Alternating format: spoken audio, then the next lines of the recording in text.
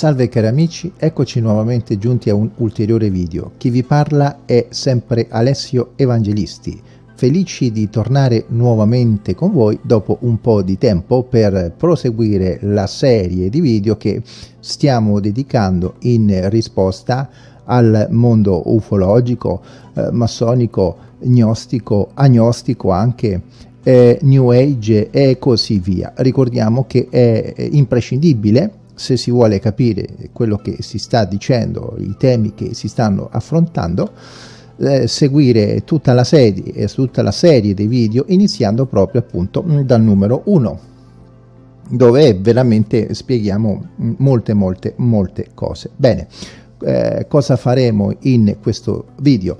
Faremo una cosa molto importante. Inizieremo a trattare un argomento nuovo eh, diciamo inizieremo perché fino adesso non lo avevamo mai fatto.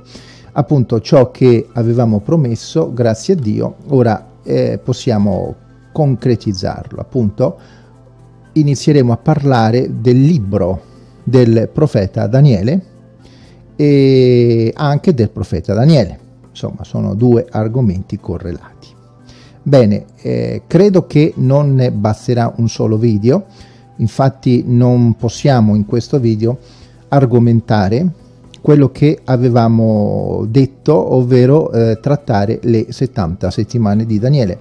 Questo perché il tempo che richiederebbe è superiore alle 4 ore fare tutto quanto, quindi in questo video ci dedicheremo più che altro a dimostrare eh, sia l'attendibilità del libro di Daniele eh, da un punto di vista storico e sia la attendibilità appunto del libro di Daniele da un punto di vista diciamo della datazione del libro. Voi sapete che vuole essere inserito diciamo da questi mondi che attaccano la Bibbia non è una cosa nuova. Quindi ci troviamo in perfetto agio in, in, questo, in questo contesto eh, quelli che attaccano la Bibbia lo vorrebbero inserire no? più o meno all'epoca di Antioco Epifane, quindi siamo intorno al 167 avanti Cristo. Su per giù diciamo è questa la data, ma noi sappiamo che è molto molto molto molto più eh, antico, insomma eh, siamo già nel 500 avanti Cristo. Bene, in questo video parleremo, eh, dimostreremo che insomma non è come, come eh, dice diciamo l'alta critica, eh, ma di questo appunto parleremo mm, man mano che il video si, si andrà a concretizzare. Benissimo, vogliamo ricordare a tutti coloro che eh, sono eh, iscritti al nostro canale per motivi di, di studio della, della Sacra Scrittura che comunque questi video che noi stiamo dedicando in risposta al mondo ufologico sono molto utili eh, per studiare la Bibbia perché mh, mm, ci siamo resi conto proprio in questi giorni eh, che eh, nel rispondere, nel difendere la Sacra Bibbia, mm, trattiamo degli argomenti che per chi studia la parola di Dio mm, sono ver veramente eh, importanti da tenere in considerazione. Soprattutto poi il libro di Daniele che è uno dei libri più importanti da molti punti di vista, non per ultimo appunto quello escatologico. Ah, noi abbiamo già insegnato molti video eh, molto datati che comunque spesso nella parola di Dio si procede a coppia, cioè di due in due. Appunto, eh, il libro di Daniele non cammina da solo, ma cammina con il suo fratello, che è appunto Apocalisse. Infatti si dice che il libro di Daniele è l'Apocalisse veterotestamentaria, mentre invece appunto l'Apocalisse neotestamentaria è quella di Giovanni, che si chiama appunto Apocalipsis o Rivelazione, insomma, che dir si voglia eh, se noi paragoniamo questi due libri ci sono una infinità veramente di punti in comune. Che, che voglio dire, il mondo ufologico, che il Nuovo Testamento si discosterebbe dall'Antico Testamento. Questa è, è, è veramente... È, beh, che aggettivo qualificativo utilizzare, beh, è meglio sorvolare questo. Benissimo. Bene, prima di addentrarci nel, nell'oggetto, appunto, vogliamo un po' come nostra abitudine, no? eh, andare un po' qui, un po' là, un po' su, un po' giù, eh, per vedere, no? eh, un po' mm, per valutare, per considerare alcune frasi, appunto affermazioni eh, che questo, questo mondo ufologico fa. Benissimo. Ora, in, in, in quasi tutte le conferenze o in molte conferenze che loro fanno per il bel paese eh, eh, usano alcune frasi no, che ormai li, ha, li, li, hanno resi insomma famosi no? alcune di queste sono le seguenti e ce le siamo scritte qua leggo testualmente allora loro dicono io non dico che non ci sia Dio ma il Dio della Bibbia non è Dio. Fateci caso, loro questa frase proprio la portano avanti, così come portano avanti quell'altra frase che dice appunto facciamo finta. Poi aggiungono, comunque il Dio della Bibbia è un eh, Dio sanguinario, pertanto non può essere neanche Dio o qualcosa del genere, oppure dicono che questo Yahweh non è neanche Dio, e che è un sanguinario. Poi dicono, comunque io di Dio non so nulla. Io non dico che non c'è Dio, ma dico che di Dio non so nulla. Ok. E vi ricordate che noi abbiamo parlato dell'agnosticismo, non dell'ognosticismo, dell'agnosticismo. Cosa dice l'agnosticismo? L'agnosticismo dice Dio non c'è, ma se c'è non si può conoscere. Mm. E lo abbiamo spiegato, no? chi dice una frase del genere è qualcuno che veramente si è tolto il cervello, l'ha posato sul comodino, poi è uscito fuori di casa, si è messo eh, a fare delle cose ma senza il cervello, qui sulla testa. Bene, perché? Perché dire l'agnosticismo quando dice Dio non c'è e se c'è non si può conoscere nulla di Dio, intanto sai diverse cose di Dio. Uno, che di Lui non si può conoscere nulla, e questa è una conoscenza. Questa cosa qui a sua volta implica altre conoscenze, per esempio potrebbe essere che Dio non, eh, non si vuole far conoscere, oppure che Dio non si può far conoscere, oppure che l'uomo non è in grado di conoscere Dio. Insomma, le ipotesi sono tante e comunque inizi a comprendere che ci sono delle cose che conosci di Dio. Quindi dire se Dio c'è, di lui non si può conoscere nulla, è già una conoscenza, che di Dio non si può conoscere nulla. Quindi è una frase veramente che è, tutto è meno che una frase intelligente.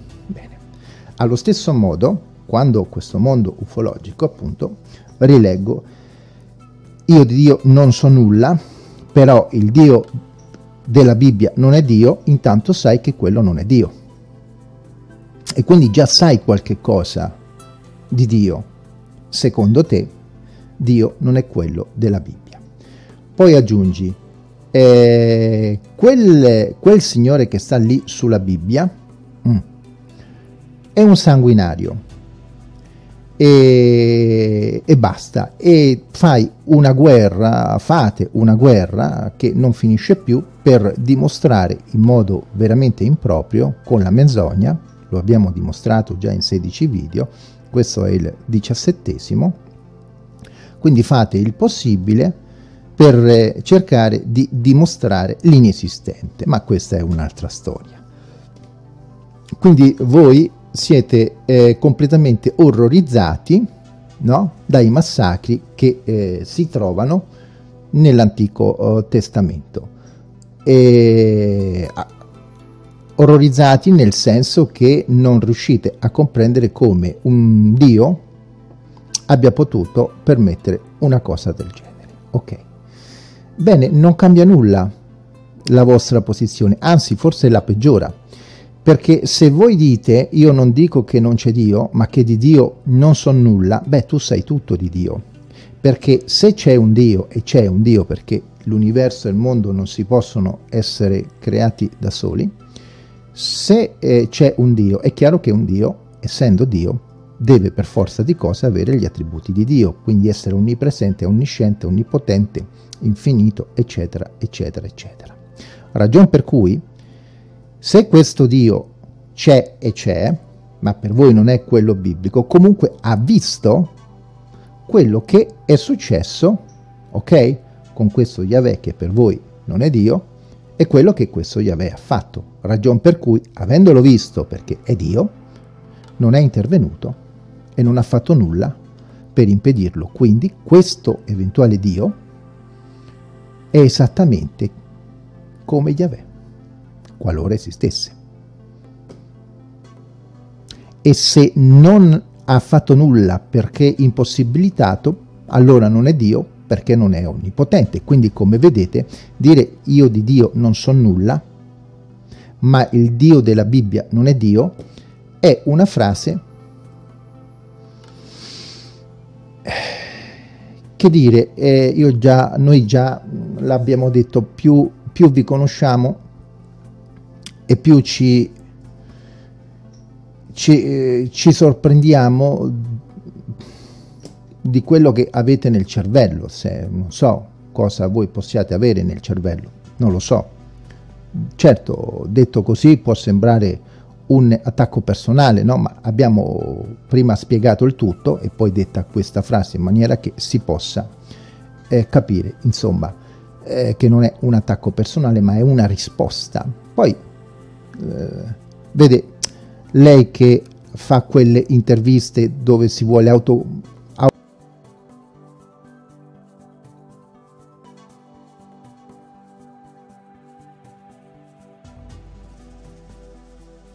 commiserarsi con se stesso, come dire a me va bene quando io vengo attaccato, ma poi gli attacchi personali, eh, gli attacchi personali eh, veramente e comincia a piangere che gli fanno gli attacchi personali. E io le dico a lei, eppure sono molto più piccolo di lei perché io, lei ha 65 anni ad oggi, 66, io ancora, i 50 ancora li devo fare, quindi sono molto più piccolo di lei, ma non se la prenda degli attacchi personali, nel senso che anche noi condanniamo gli attacchi personali, ma lei sa, come so io, che quando una persona si mette in gioco e mette la faccia e dice cose, tanto più noi che diciamo la verità, ci saranno gli attacchi personali. Anche noi riceviamo una infinità di attacchi personali. Uno su tutti?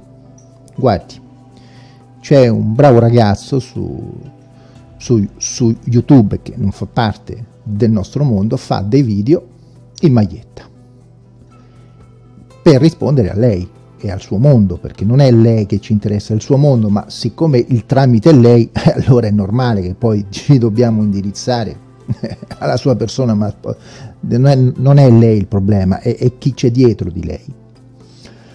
E cosa gli hanno detto? Ah, vedi questo, ma dove hai qua la maglietta? Detto proprio alla romana. Poi vengono da noi, che non abbiamo la maglietta, e ci dicono, ma dove hai qua la cravatta? Ma chi te credi d'esse? E io me la rimetto apposta. Quindi, come vede, gli attacchi personali, anzi, vanno a favore di chi li riceve, mentre invece dimostrano che chi li fa non sa minimamente cosa significa avere il cervello nel suo posto. Ecco. E potremmo proseguire all'infinito. Quindi anche noi condanniamo gli attacchi personali, ma ci stanno perché la maggior parte delle persone non ci stanno con la testa e quindi fanno gli attacchi personali. E quindi gioisca, consiglio piccolo da uno che è molto più piccolo di lei, per quanto riguarda l'età, non, non gli voglio insegnare a campare, però non faccia questi video che si mette a piangere per gli attacchi personali, sì, eh, spalle grosse e vada avanti, piccolo consiglio. Quindi, caro, caro mondo ufologico, agnostico, gnostico, malinconico, faraonico e chi più ne ha più ne metta, eh, dire il, il, io non so nulla di Dio, ma di certo eh, quello della Bibbia non è Dio, è già io non so nulla di Dio, già sai qualcosa di Dio. in più, come dire, prendertela per i massacri che trovi ne, nella Bibbia, questo non annulla che comunque questo eventuale Dio, comunque, li ha permessi. Punto. Infine, torniamo a farvi la famosa domanda del milione. Qual è la morale per giudicare la Bibbia? Un libro senza morale, un libro che, che non si può leggere, un libro che è ingiusto. Qual è la vostra morale? La nostra morale è la parola di Dio. La, la vostra morale fuori dalla parola di Dio qual è? Qualunque cosa voi rispondiate, dentro di me l'ha detto quello, l'ha detto quell'altro, noi diciamo, beh, io dico il contrario. La parola di un uomo non vale più della parola di un altro uomo. Quindi tu dici una cosa, noi ne diciamo un'altra, gli altri ne diranno un'altra ancora e così via. Quindi, cari amici miei, all'infuori della Bibbia voi non avete morale. Quindi come fate a dire nel, nella Bibbia quello che è corretto e quello che è sbagliato? È molto semplice. Altra cosa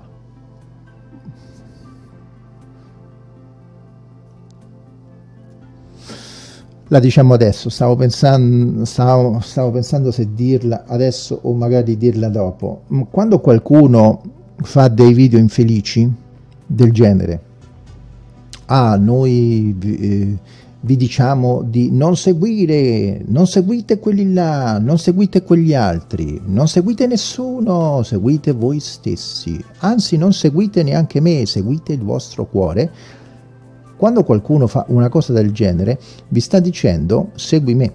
Certo, perché il fatto stesso che qualcuno fa un video e ti dice non seguire nessuno, non seguire quelli, non seguire quell'altro, ti sta dicendo fai quello che ti dico io e quindi segui me. È molto semplice, molto semplice. Quindi è un ipocrita, un bugiardo e vi sta prendendo in giro come gente che non capisce niente. Perché si capisce, anche un neonato capisce che se tu mi dici di non fare una cosa, tu vuoi essere ubbidito, anche se dici di no, ma fai tutto, del tutto, perché si faccia quello che dici tu. Qualcuno dirà, e voi? Ma infatti noi, noi diciamo di seguire la parola di Dio, come diceva l'Apostolo Paolo, no? Io, se, se, se, siate miei imitatori, come io sono imitatore di Cristo. Ecco, siccome noi abbiamo stradimostrato che la parola di Dio, la Bibbia, è la verità, noi vi diciamo seguite la parola di Dio, perché è l'unica fonte che vi porterà alla vita eterna. Non c'è un'altra fonte. La dimostrazione sta nei secoli dei secoli dei secoli. Ci sono secoli di secoli di secoli che dimostrano questo. Come tutto quello che è scritto nella parola di Dio si è sempre concretizzato dalle profezie e dal fatto stesso che la Bibbia ha, è riuscita a fare cose e a prevedere cose che mai nessuno ha potuto fare. Noi abbiamo fatto quasi 200 video dove abbiamo dimostrato l'attendibilità della parola di Dio. Bene, vogliamo proseguire un po' in risposta a questo mondo ufologico prima di entrare nel, nel vivo eh, dell'oggetto dove appunto c'è quel video simpatico, buffo, dove appunto si, si, si vede questo ufologo che no, non è tanto l'ufologo che ci interessa, quanto il mondo che sta dietro, lui dice io non ho mai organizzato nessuna conferenza. E sì, è vero, in questo ha detto il vero, perché gliele organizza la loggia. È chiaro che viene portato, no? Ci sono, in Italia ci sono poco meno di 900 logge, 900, conosciute, poi immaginatevi quelle non conosciute, quelle ultra segrete che nessuno sa dove stanno e che neanche gli stessi massoni conoscono. Benissimo. E se, se ti studi la storia della massoneria sai che la massoneria non è nulla di buono e che non è vero che solo la P2 è deviata assolutamente, eh, basti pensare, basti pensare, noi abbiamo il video dove un massone proprio dice che Kent, Marx facevano parte di una loggia massonica e che il loro pensiero è stato scritto da massoni e grazie a questo pensiero comunista sono state uccise eh, più di 100 milioni, quasi 200 milioni di persone. Ecco qua. Comunque, in, in, un, in una vostra diciamo, conferenza no, siete, bene siete usciti fuori con la, la frase, o forse sarebbe meglio dire l'infelice frase, dove avete asserito quanto segue. Io non mi occupo di teologia, ma di Bibbia. Ecco, noi avevamo detto che avremmo risposto a questa frase diversi video fa, ebbene in questo video risponderemo. Benissimo. Lo vogliamo un po' andare a stringere. E teologia, no? sappiamo tutti che cos'è, no? Teos, logos, teos, teo, teu, significa Dio, logos significa parola, significa ragione, può, si intende anche studio, insomma veramente, adesso non entriamo proprio nel profondo del termine, di quanto sia importante la ragione, no? Altro che la fede cieca, dici in che credi così? Credi, che credi? La fede è una conoscenza razionale, perché tu devi sapere in quello che credi, devi sapere che c'è un Dio, che c'è un Padre, che c'è un Figlio, che c'è uno Spirito Santo, che è morto, che è risorto, che c'è un inferno, che c'è un paradiso, eccetera, eccetera, eccetera. Quali sono i punti dottrinali? Altrimenti che è fede? Fede è ragione, è credere, è conoscenza, conoscenza che viene dal terzo cielo. Ma mo, adesso, veramente, già ne abbiamo parlato la teologia si divide in molti campi.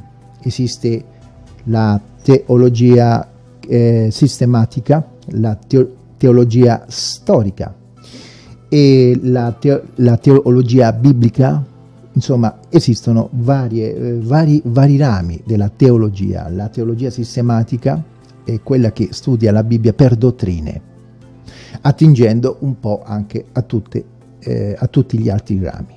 La teologia storica è quella che studia il pensiero dei padri e che vede un po' come questi, ok? Eh, vedevano la parola di Dio, come eh, loro scrivevano nei confronti della parola di Dio. Tant'è vero, tant tant'è vero che qui ci soffermiamo un attimino per smusare ulteriormente quel mito che dice che la Bibbia è stata eh, tradotta, tradotta, tradotta, tradotta migliaia di volte e quindi ogni volta è cambiata. Ecco, chi dice questo, scusate il termine, veramente, veramente è un bugiardo, è un bugiardo e è molto di più, è molto di più. È qualcuno che sta facendo dell'infamia nei confronti proprio di chi lo ascolta perché la ragione, il buon senso, sa perfettamente che intanto con il Qumran si è trovato tutto l'Antico Testamento scritto e sappiamo esattamente come era scritto già due, duemila anni fa, quindi in duemila anni non è mai cambiato niente perché abbiamo i testi, ce li hai davanti. Prima cosa. Il Nuovo Testamento già nei primi due secoli è stato scritto centinaia, centinaia, centinaia di volte da tutti i padri della Chiesa. E quindi ce l'abbiamo così intatto e non è mai cambiato. Ci abbiamo i testi che ce lo dimostrano in questi duemila anni. In più il, ehm, il Codex Sinaiticus che data più o meno intorno al 320, 340, 350, ce l'abbiamo, è tutto intero, porta tutto il Nuovo Testamento e è lì. In Italia siamo pieni di personaggi illustri, dottori che conoscono il greco antico, quindi che sia cambiato, non è vero. I 7, le 7-800 variazioni che si trovano, ne abbiamo già parlato nei video precedenti, non alterano nulla il contesto se non dello 0,04, tipo menare invece di portare o portare invece di menare, una virgola, un punto, cioè alla fine le cose che cambiano il contesto nell'immediato possono essere 3-4 cose, cioè proprio c'è una precisione eh, di 5.000 scritti solo per il Nuovo Testamento, wow, vabbè, ma di queste cose ne abbiamo già parlato, quindi perché perdere il tempo? Quindi abbiamo la teologia sistematica storica biblica perché tratta diciamo la Bibbia unicamente alla luce di se stessa senza guardare nulla altro la storia, l'archeologia, lo studio, eh, eh, insomma, ehm, tutto quello che gli gira intorno. Bene. A sua volta la, diciamo, la parte sistematica è divisa di, eh, di bibliologia, teologia eh, propria, cristologia, pneumatologia, la, la, teologia propria studia il Padre, la cristologia studia il Figlio, la pneumatologia studia eh, lo Spirito Santo, l'archeologia appunto studia i reperti archeologici che si trovano sotto forma di eh, strutture, scritti, vasellami, incisioni, eh, città stesse sotterrate che vediamo come vivevano e noi in questo video tratteremo molto l'archeologia e vi faremo notare quanto è importante l'archeologia per la Bibbia. L'ecclesiologia, l'escatologia, l'ecclesiologia è lo studio della Chiesa, l'escatologia ecco, è quello che facciamo noi, noi ci occupiamo molto di escatologia, lo studio delle profezie finali, l'angiologia, l'archeologia eh, la geografia, eccetera, eccetera, eccetera, alla luce appunto unicamente della Bibbia e di tutto il contorno per vedere quello che dice la Bibbia. Quindi quando tu, ma no, eh, poi può variare un pochettino tra o molto tra la Chiesa, diciamo, evangelica, la Chiesa protestante e la Chiesa cattolica.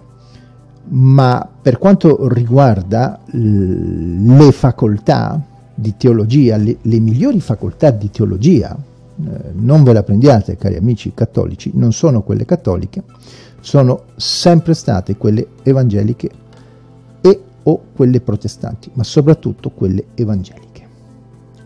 Se voi vi andate a informare, le facoltà più importanti e migliori al mondo sono evangeliche. A sua volta, ci sono i dogmi, la dottrina, il mito, i dogmi nella Chiesa evangelica praticamente sono inesistenti, nella Chiesa cattolica esistono. Il dogma è la legge dell'uomo che automaticamente eh, trova valore eh, praticamente come la stessa scrittura. Poi c'è la dottrina che è appunto un, unicamente quello che dice la parola di Dio, senza nulla aggiungere e nulla togliere. Questo è tipico della Chiesa evangelica e la dottrina non annulla l'esistenza delle regole che però non sono un qualcosa che poi va a bracciare tutta quanta la Chiesa perché la regola fa parte o della singola comunità o del movimento, ma poi tutti gli altri eh, non andranno a perseguire quelle determinate regole. È un po' come dire nella nostra società ci sono regole, una su tutte, se i semafori, la circolazione, qui in Italia si cammina sulla destra, in Inghilterra si cammina sulla sinistra, per dire, eccetera, eccetera. E poi c'è il mito. Il mito praticamente è quella credenza o superstizione che non corrisponde alla realtà. Faccio quello che sento, agisco così perché ho visto un miracolo, un'apparizione, eccetera, eccetera, eccetera. E, e, quindi in base a questa apparizione ho visto una figura, un angelo, Maria stessa, il demonio, e quindi in virtù di questo io perseguo questo credo o credo in questa cosa qua, senza tenere in conto poi quello che dice la Bibbia, appunto, che condanna queste cose. Paolo stesso dirà che quando anche un angelo di luce vi comparisse, di non seguirlo. Insomma, queste cose la Chiesa la, Chiesa la dice da sempre, da centinaia di anni, non so, non so cose nuove, insomma. Benissimo. Quindi l'uomo non determina con il, con la dottrina l'uomo non determina ciò che dice la Bibbia, lo fa essa stessa. Quindi, perché stiamo dicendo tutto questo? Perché dire io non mi occupo di teologia, ma mi occupo di Bibbia, è una cosa non intelligente, perché la teologia è lo studio della Bibbia. Casomai avresti dovuto dire, per dargli un senso, io non mi occupo di religione, ecco, non abbiamo parlato di religione, la religione è lo studio eh, della risposta dell'uomo all'esistenza di una entità o un essere superiore. È un po' quello che facciamo noi con voi. Voi siete una religione. Che, che ne diciate, lo siete de facto. Benissimo. Casomai avresti dovuto dire, io non mi occupo di religione, ma lui ti avrebbe detto io ti parlo di teologia, non di religione. Quindi dire io non mi occupo di teologia ma di Bibbia, praticamente è come un dentista che dice eh, io non mi occupo di denti ma faccio il dentista. Ma che stai a dire? Praticamente hai detto una cosa del genere. Ora, perché? Perché noi abbiamo fatto tutto questo ragionamento per svergognarvi? No, non è questo il, eh, il sentimento, no. È perché adesso vogliamo prendere questa vostra frase e la vogliamo fare nostra perché ci serve, ci serve. E utilizziamo anche una frase vostra, la quale asserisce che voi fate finta, no, che sia vero. Allora, prendiamo questa infelice frase che avete detto. Io non mi occupo di teologia, ma mi occupo di Bibbia. E facciamo finta che sia vera, che abbia un senso, che corrisponda alla realtà dei fatti. Benissimo. Quando noi andiamo alla parola di Dio e cominciamo a vedere alcuni argomenti no, ostici alla carne umana, perché l'uomo incredulo non comprende determinate azioni di Dio, non tiene in considerazione che c'è una vita eterna, non tiene in considerazione che si muore in questo mondo e si va nella vita eterna perché voi negate anche il mondo spirituale, nella Bibbia avete negato tutto. Allora, quando noi vediamo uccisioni nella parola di Dio, eccetera, eccetera, eccetera, è tutto vero, è tutto ben tradotto, è tutto perfetto, è tutto lineare. E, e fino là, benissimo. Quando invece poi si va a parlare di cose che a voi non fanno comodo, tipo il peccato, la caduta dell'uomo, allora, allora, a quel punto nulla è vero, a quel punto niente è tradotto bene, a quel punto la parola eh, non vuole dire questa cosa qua, eccetera, eccetera, eccetera. E guarda caso, quando si va a parlare del peccato, della caduta dell'uomo, eccetera, eccetera, eccetera, non fate più finta che ci sia scritto quello che c'è scritto e chi chiamate in causa, che ormai sono il capo espiatorio di tutta l'umanità, gli ebrei. Sì, fateci caso. Allora noi rimaniamo un po' perplessi perché come già detto in un nostro video, gli ebrei, noi abbiamo fatto un video dedicato a come sono, uh, or, uh, come sono suddivisi gli ebrei. Per esempio ci sono i Sefarad, gli Ashkenaz, gli ortodossi, gli ultra-ortodossi, i Haredi, i Mizrahi, i conservatori, i costruzionisti, i Karaiti, il mondo chassidico, il mondo Misnag, eh, Misnagdim, scusate, eh, un po' difficile da dire, misnagdimme, eccetera, eccetera, eccetera. E infine ci sono anche gli ebrei messianici, che sono quelli che riconoscono anche il Nuovo Testamento. Ora, la domanda del milione, quando voi dite, ah, perché lo hanno detto gli ebrei, gli ebrei chi? Il 90% degli ebrei che non sono religiosi e la maggior parte sono pure atei? O il mondo religioso? E il mondo religioso ha una infinità di variazioni, di mondi, come diciamo noi, tra cui non abbiamo nominati i greci, i romanoi, i, i romanioti, gli olandesi e i due, eh, i due, diciamo, le due colonne principali che sono Sefarad, che è molto più antica, e appunto Askenaz, Askenaziti. Bene. Tutti, tutti gruppi che si discostano dagli altri gruppi in visione, in comandamenti, in, eh, in legge, eccetera, eccetera, eccetera. Allora, quando voi dite lo hanno detto gli ebrei, gli ebrei chi? C'è sono pure ebrei massoni?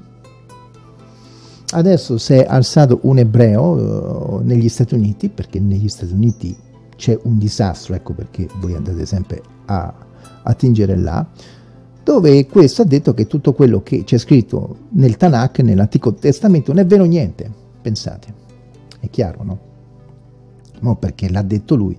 Allora, quando, quando si tratta di uccisioni, eccetera, eccetera, è tutto vero. Quando si tratta di andare a vedere altri passi, tipo il peccato originale, la caduta, eccetera, eccetera, andate sempre a cercare spalla dagli ebrei.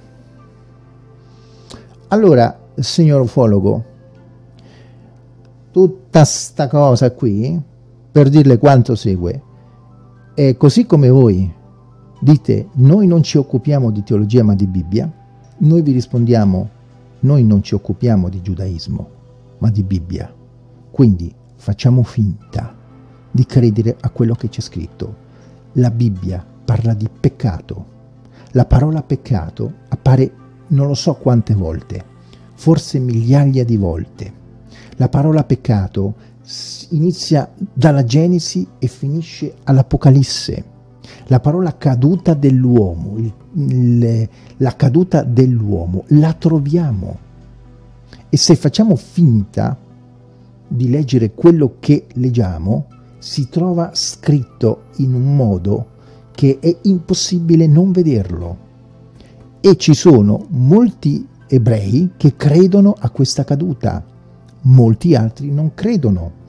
Voi a quali gruppi andate ad attingere? Ovviamente a quelli che non vi credono. E gli altri che vi credono perché non li citate? E poi perché schierarsi dietro gli altri?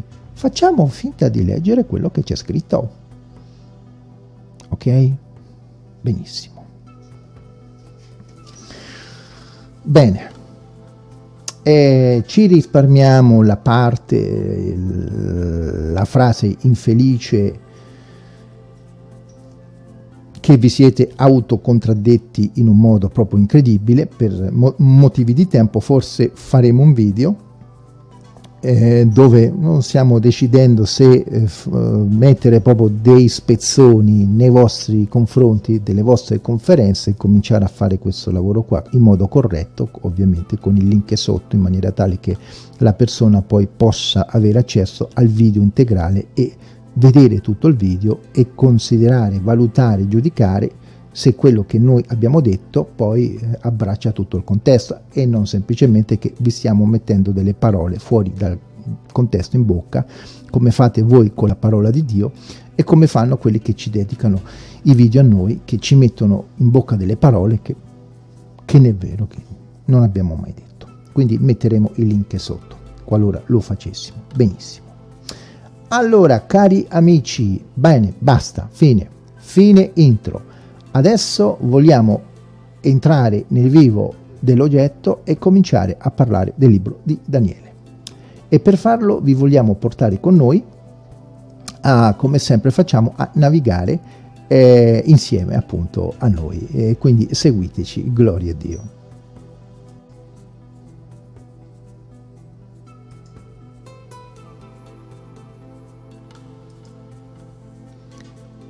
Ecco, ok allora in questo momento vediamo se ok in questo momento siamo uh mhm. -huh. ok allora cari amici eccolo qua intanto vi voglio far vedere quanto segue allora questo è un giornale si chiama Aurora ha sede in Tel Aviv è un giornale ebreo e proprio in questi giorni proprio ci sta al bacio e praticamente eh, si è, hanno, hanno fatto una, una scoperta che parla, eccola qua, della, delle evidenze, delle prove archeologiche appunto, l'archeologia è importantissima, aspettate che si aggiorna da sola la pagina, per, e praticamente hanno trovato delle evidenze che dimostrano la distruzione di Gerusalemme da parte di Babilonia. Eccola qua.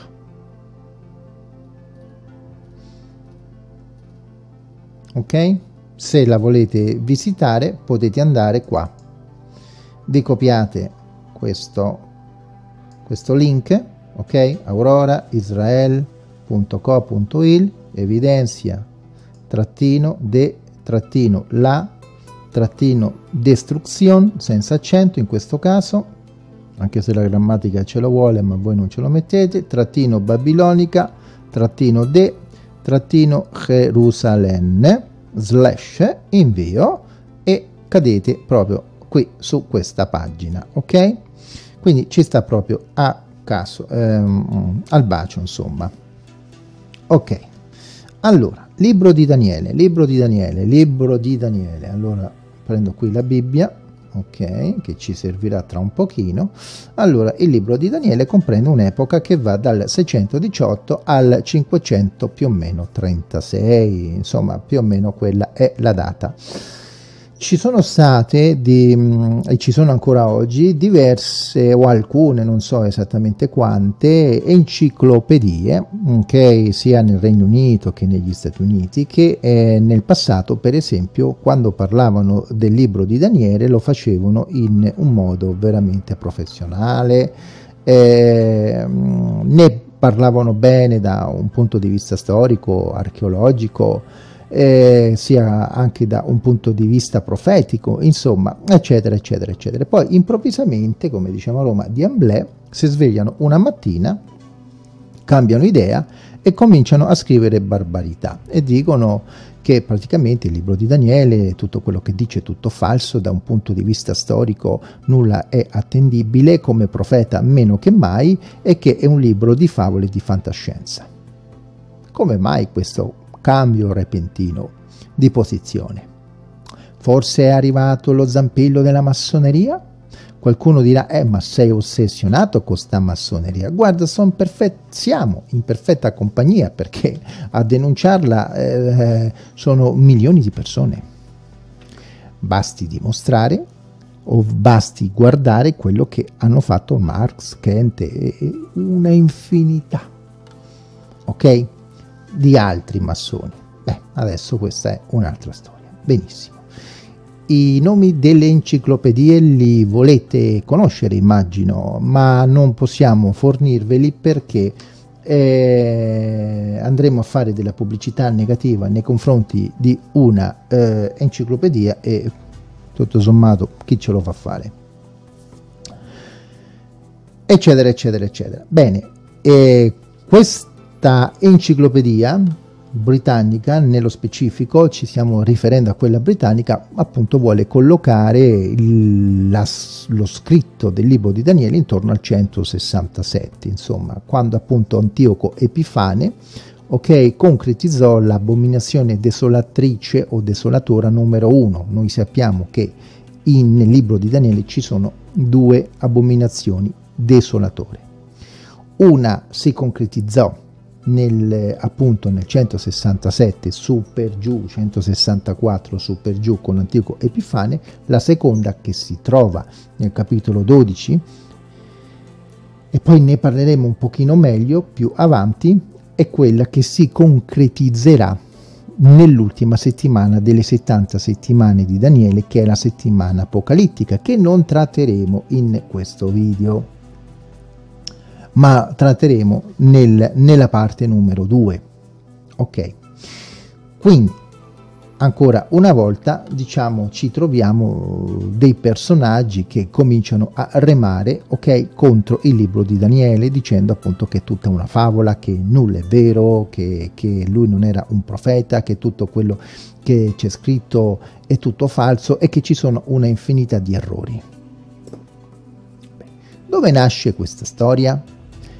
Questa storia come già detto è molto antica infatti l'apologetica cristiana è un'apologetica molto all'avanguardia, anche se noi non trattiamo apologetica, non siamo apologeti, non siamo capaci a farla. Quindi quello quando ci occupiamo di apologetica lo facciamo, come dire, da dilettanti allo sbaraglio. Quindi i veri apologeti eh, vi, eh, com, come dire, abbiate pietà di noi noi trattiamo altro, trattiamo esegesi, trattiamo escatologia, ermeneutica, linguaggio biblico, insomma di questo ci occupiamo.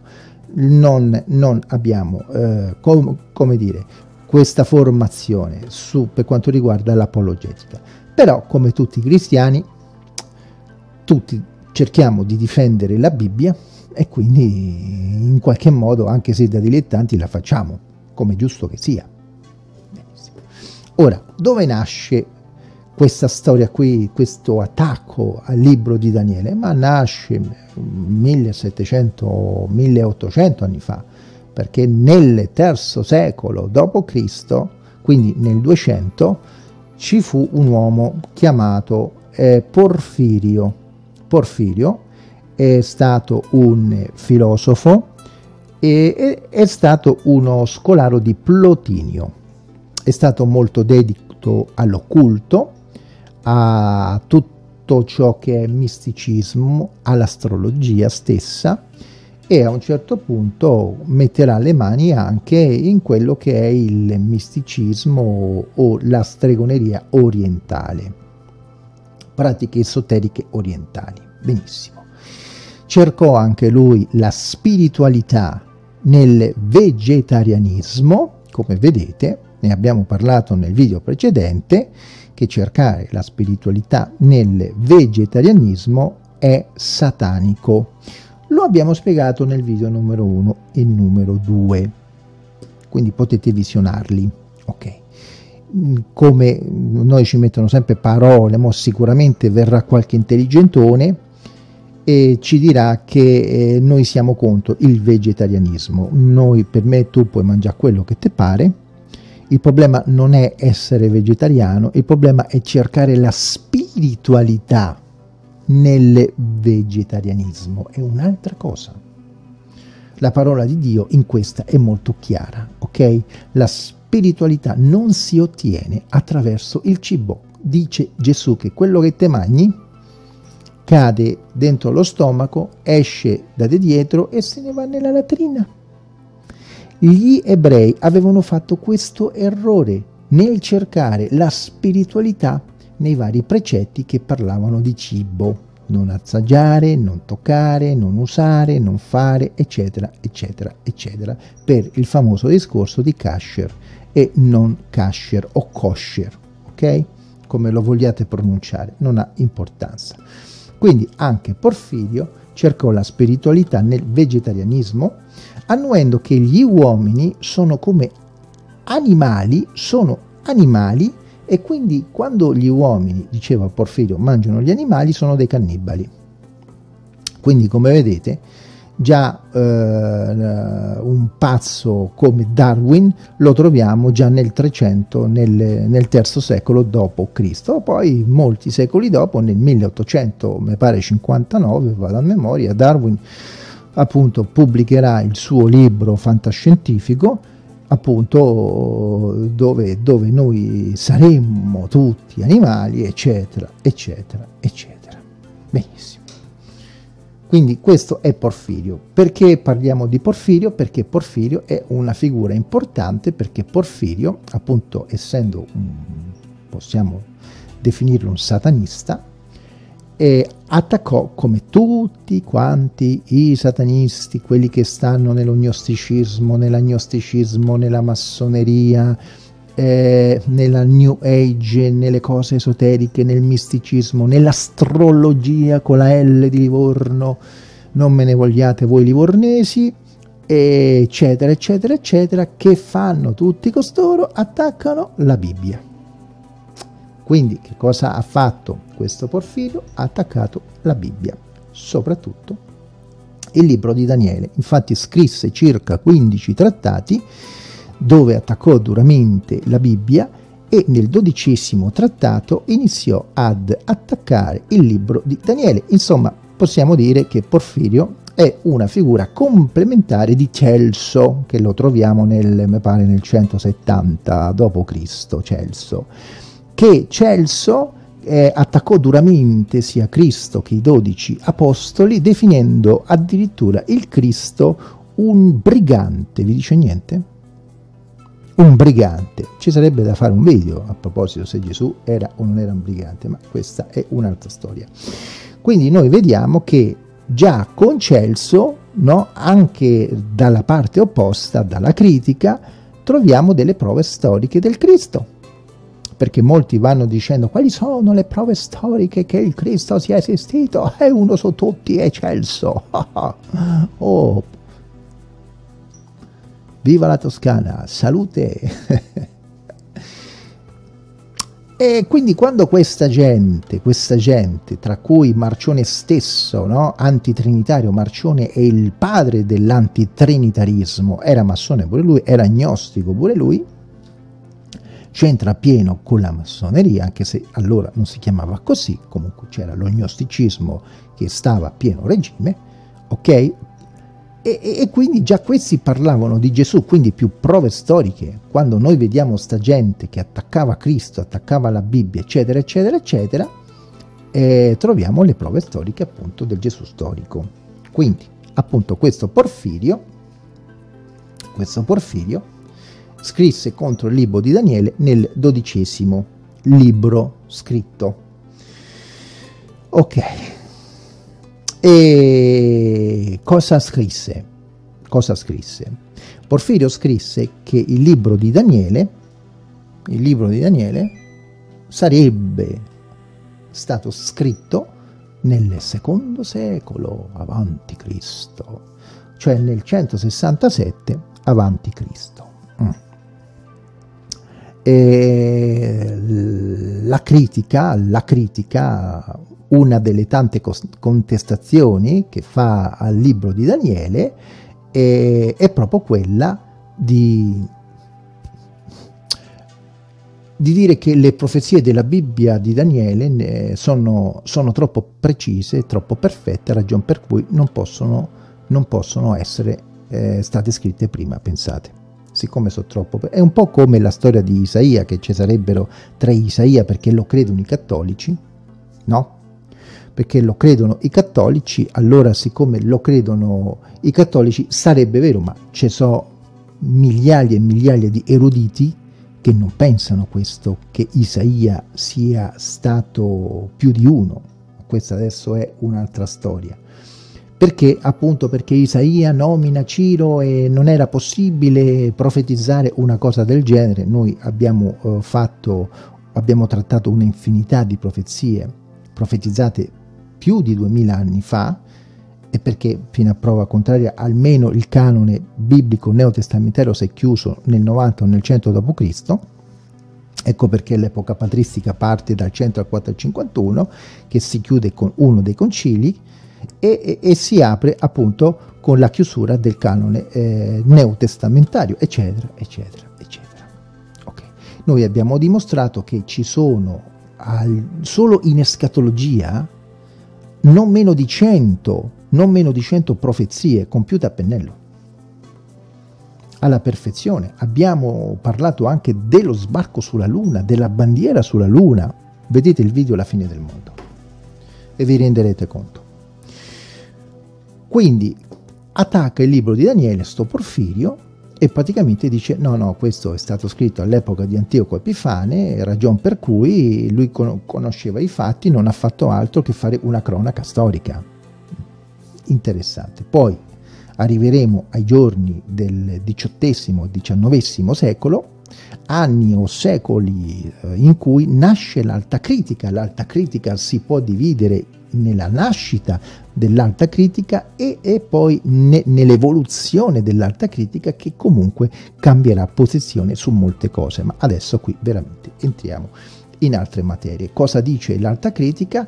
La, la, come dire, la parte finale dell'alta critica, possiamo dire l'alta alta critica, che cambierà completamente posizione, co comincerà anch'essa a prendere le idee di Porfirio e a trasportarle appunto nel suo contemporaneo per dire esattamente le stesse cose. Quindi la nuova alta critica possiamo dire. Bene, infatti un'altra enciclopedia, scusate, questa americana dirà che il, i racconti le storie descritte nel libro di Daniele sono altamente distorte. Insomma, c'è tutto sto minestrone. Bene, ora vogliamo cominciare a vedere da un punto di vista biblico, storico, archeologico, se queste persone, queste enciclopedie, questo Porfirio, questi massoni, questi gnostici, questi batte la pesca, hanno ragione, ovvero chi ha ragione è la parola di Dio. Bene, cari amici, seguiteci il loro eh, Porfirio, Porfirio, insomma, l'alta critica, chiamiamola così, no, si, si chiama così, eh, chiamiamola così, è questa, è, questo è il nome suo. Allora, appunto il dito qui, ve lo vado a prendere nella parola di Dio. Uh, Daniele 5. Allora, Daniele numero 5, ok, eccolo qua. Lo vado un po' a ingrandire, ok. Allora, Daniele eh, 5 facciamo verso 1. Ah, questo non me lo prende.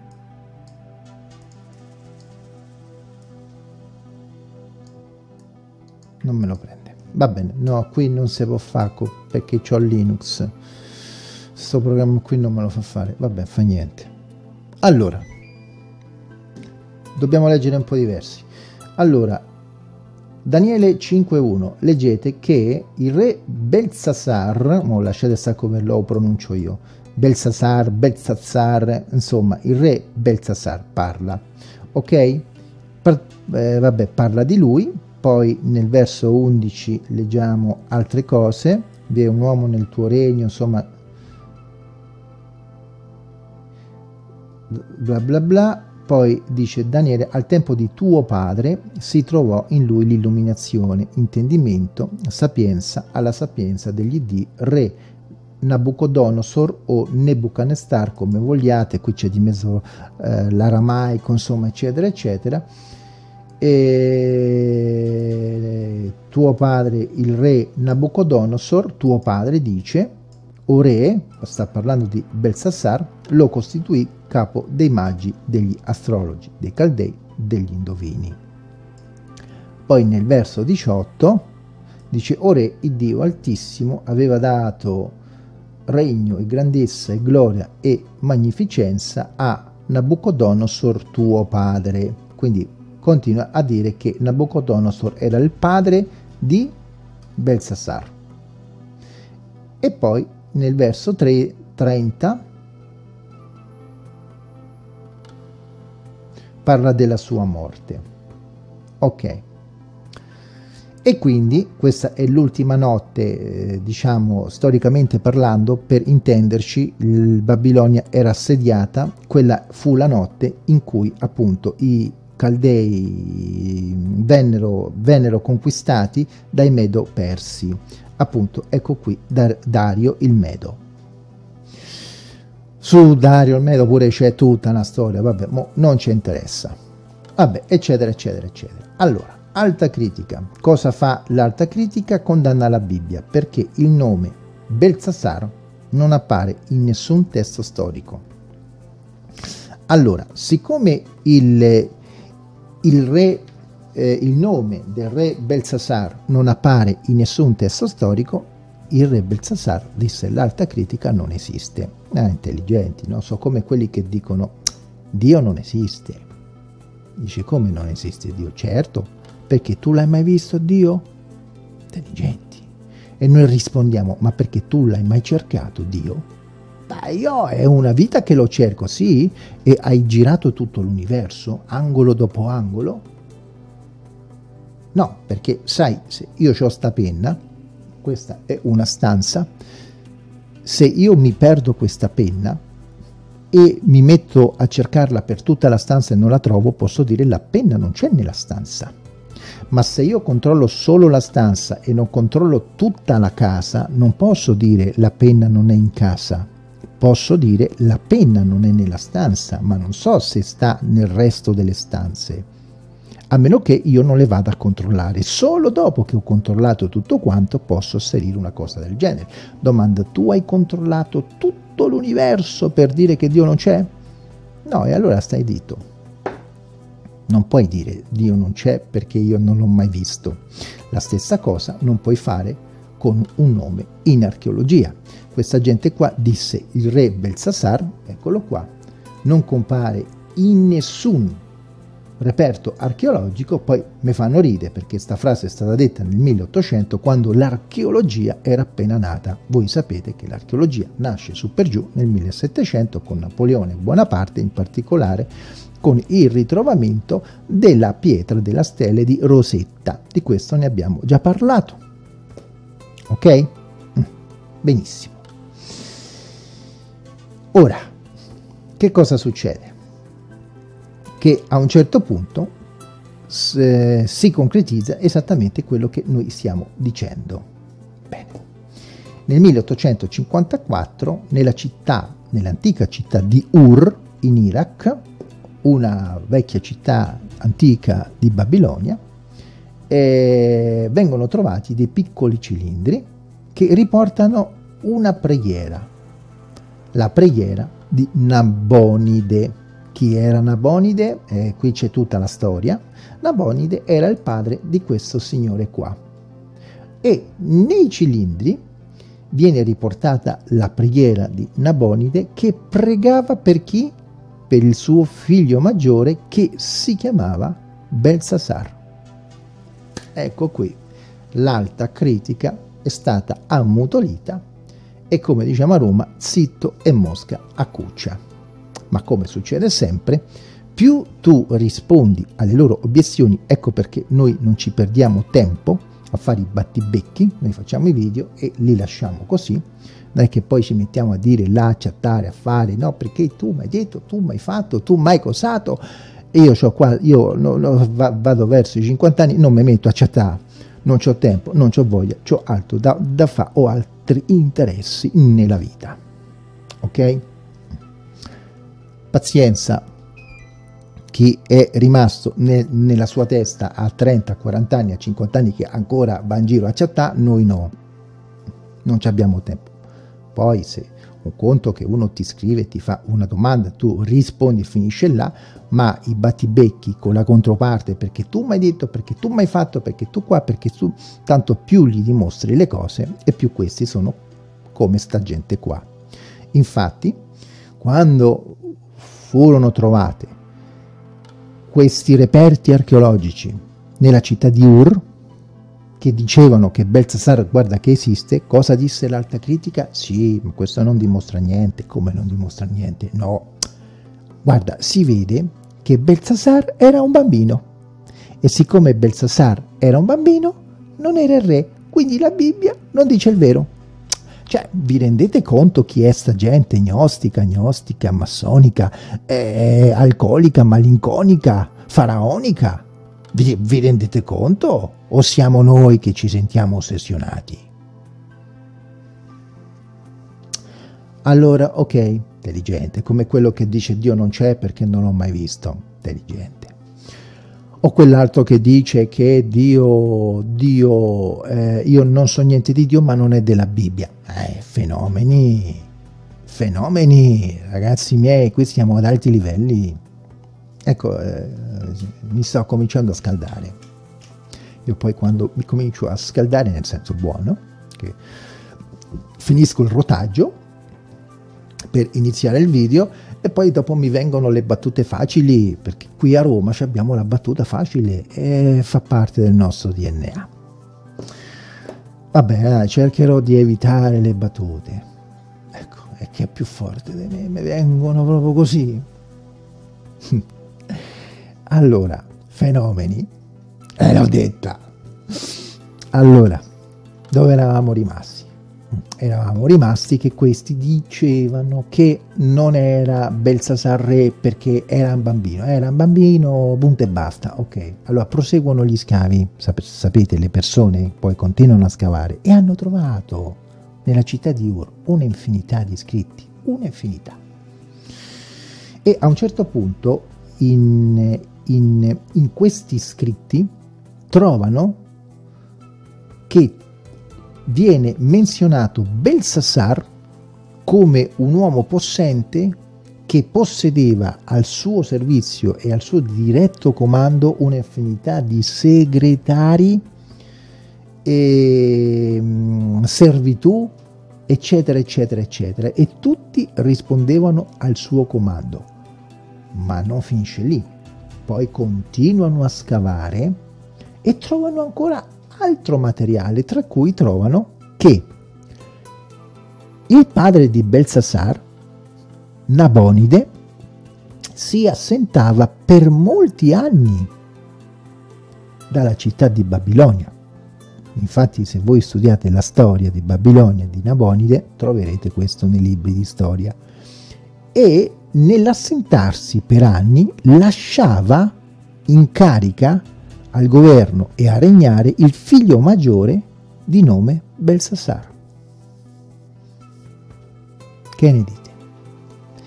Ovviamente eh, l'alta critica non gli stette bene, non gli stette bene e cosa rispose l'alta critica? Sì, però la Bibbia non è attendibile. Come non è attendibile la Bibbia con tutte queste prove? No, non è attendibile perché perché dice le bugie. Ah, la Bibbia non è attendibile perché dice le bugie. Sì, dice le bugie perché parla di Beltasar e, e, e quindi par, parlando di Belsasar non parla del padre che è Nabonide. Siccome non parla di Nabonide, tutto quello che, che dice la Bibbia non è vero niente. Ecco, questa è l'alta critica.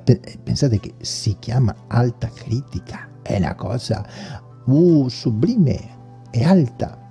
L'alta critica, uh, eccelsa.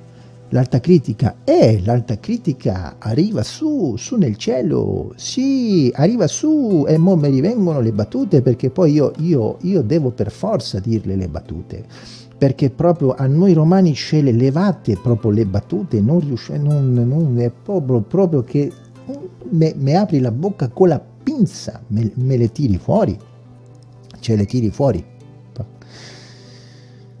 Allora, c'è un accenno qui nel capitolo 5, se voi lo le leggete, non mi ricordo dove sta, uh, eccolo qua, che dice, ma io ho udito dir di te che tu puoi dare interpretazioni e poi dice, ora se tu puoi leggere questa scrittura e dichiararmene l'interpretazione, tu sarai vestito di porpora, porterai una collana d'oro al collo e sarai il terzo signore nel regno. Domanda, perché gli dice il terzo e non il secondo? Se lui fosse stato il primo re, gli avrebbe dovuto dire il secondo.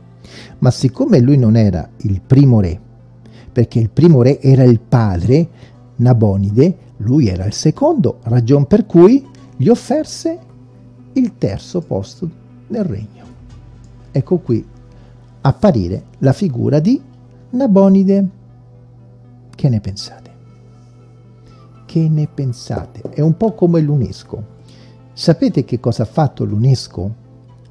Siccome è stato profetizzato 2400 anni fa, ma non solo, anche altre profezie ci sono state, che negli ultimi giorni l'antisemitismo sarebbe cresciuto a dismisura, infatti dovremmo parlare un po' di questo argomento, dei famosi 6 milioni di ebrei che sono morti in verità e che li stanno prendendo in giro, ma molto triste quello che stanno, quello che stanno facendo, noi condanniamo questa posizione, noi benediciamo il popolo di Israele, qualcuno dirà bisogna benedire tutti, noi benediciamo tutti e benediciamo anche Israele, perché non vi piace?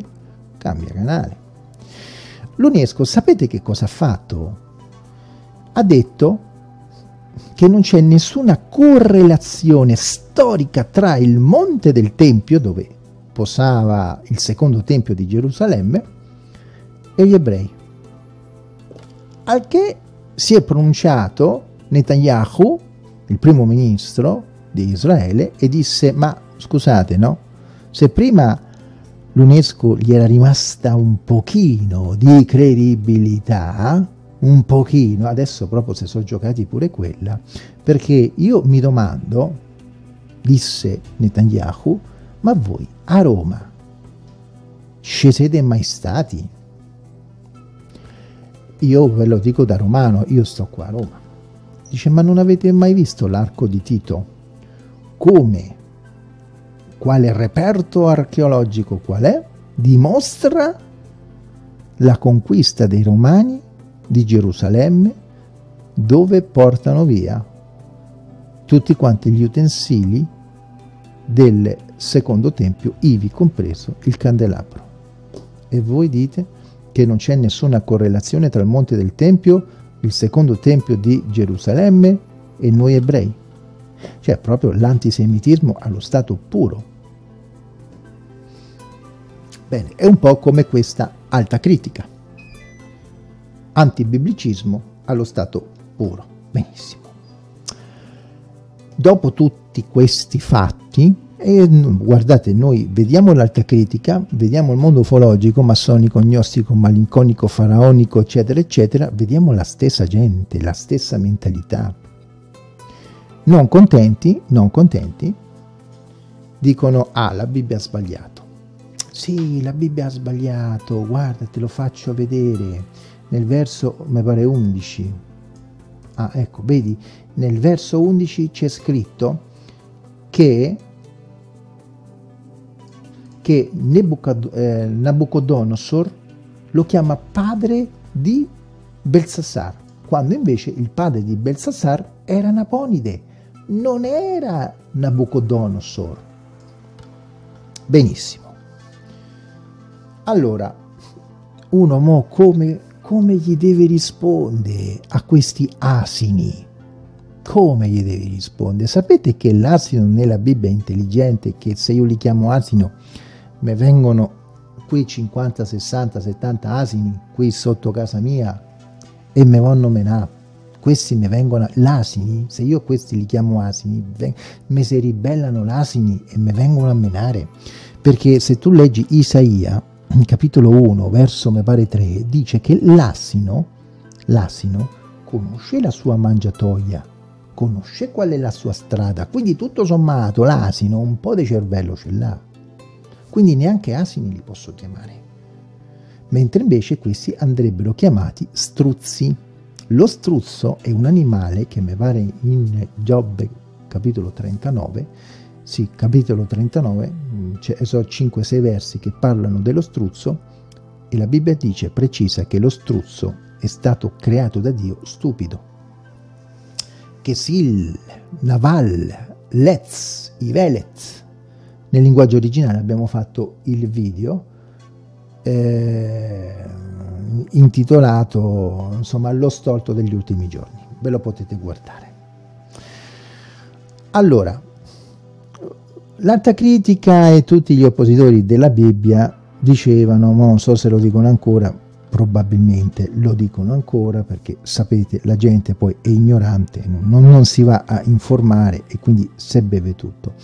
L'alta critica eh, dice che Nabucodonosor era il padre eh, leggiamo nella Bibbia era il padre di appunto questo qua, Belsasar. Okay. Perché qui lo chiama padre.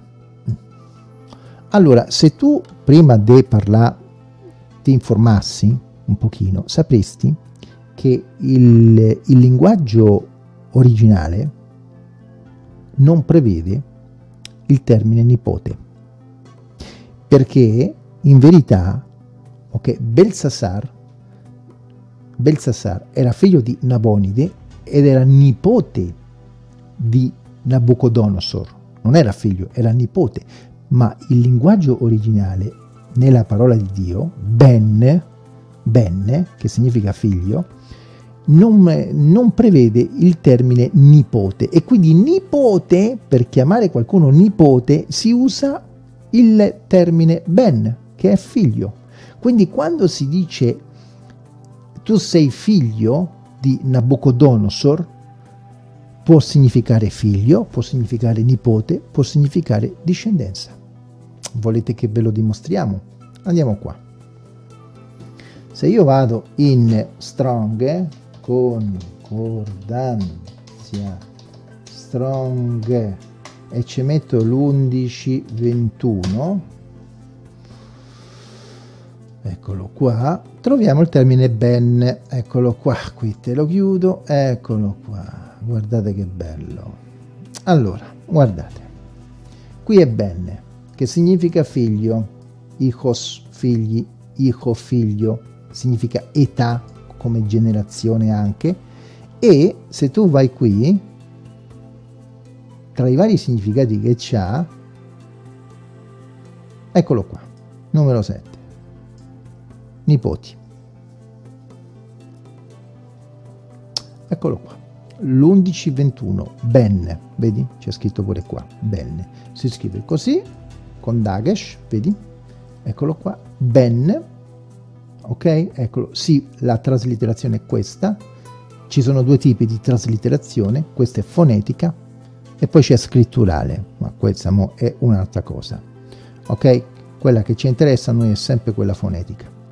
E io uso quella fonetica, per, per esempio, e significa nipoti. Quindi, tornando appunto alla Bibbia, quando dice tuo padre, ok? Intende dire che lui era il nipote.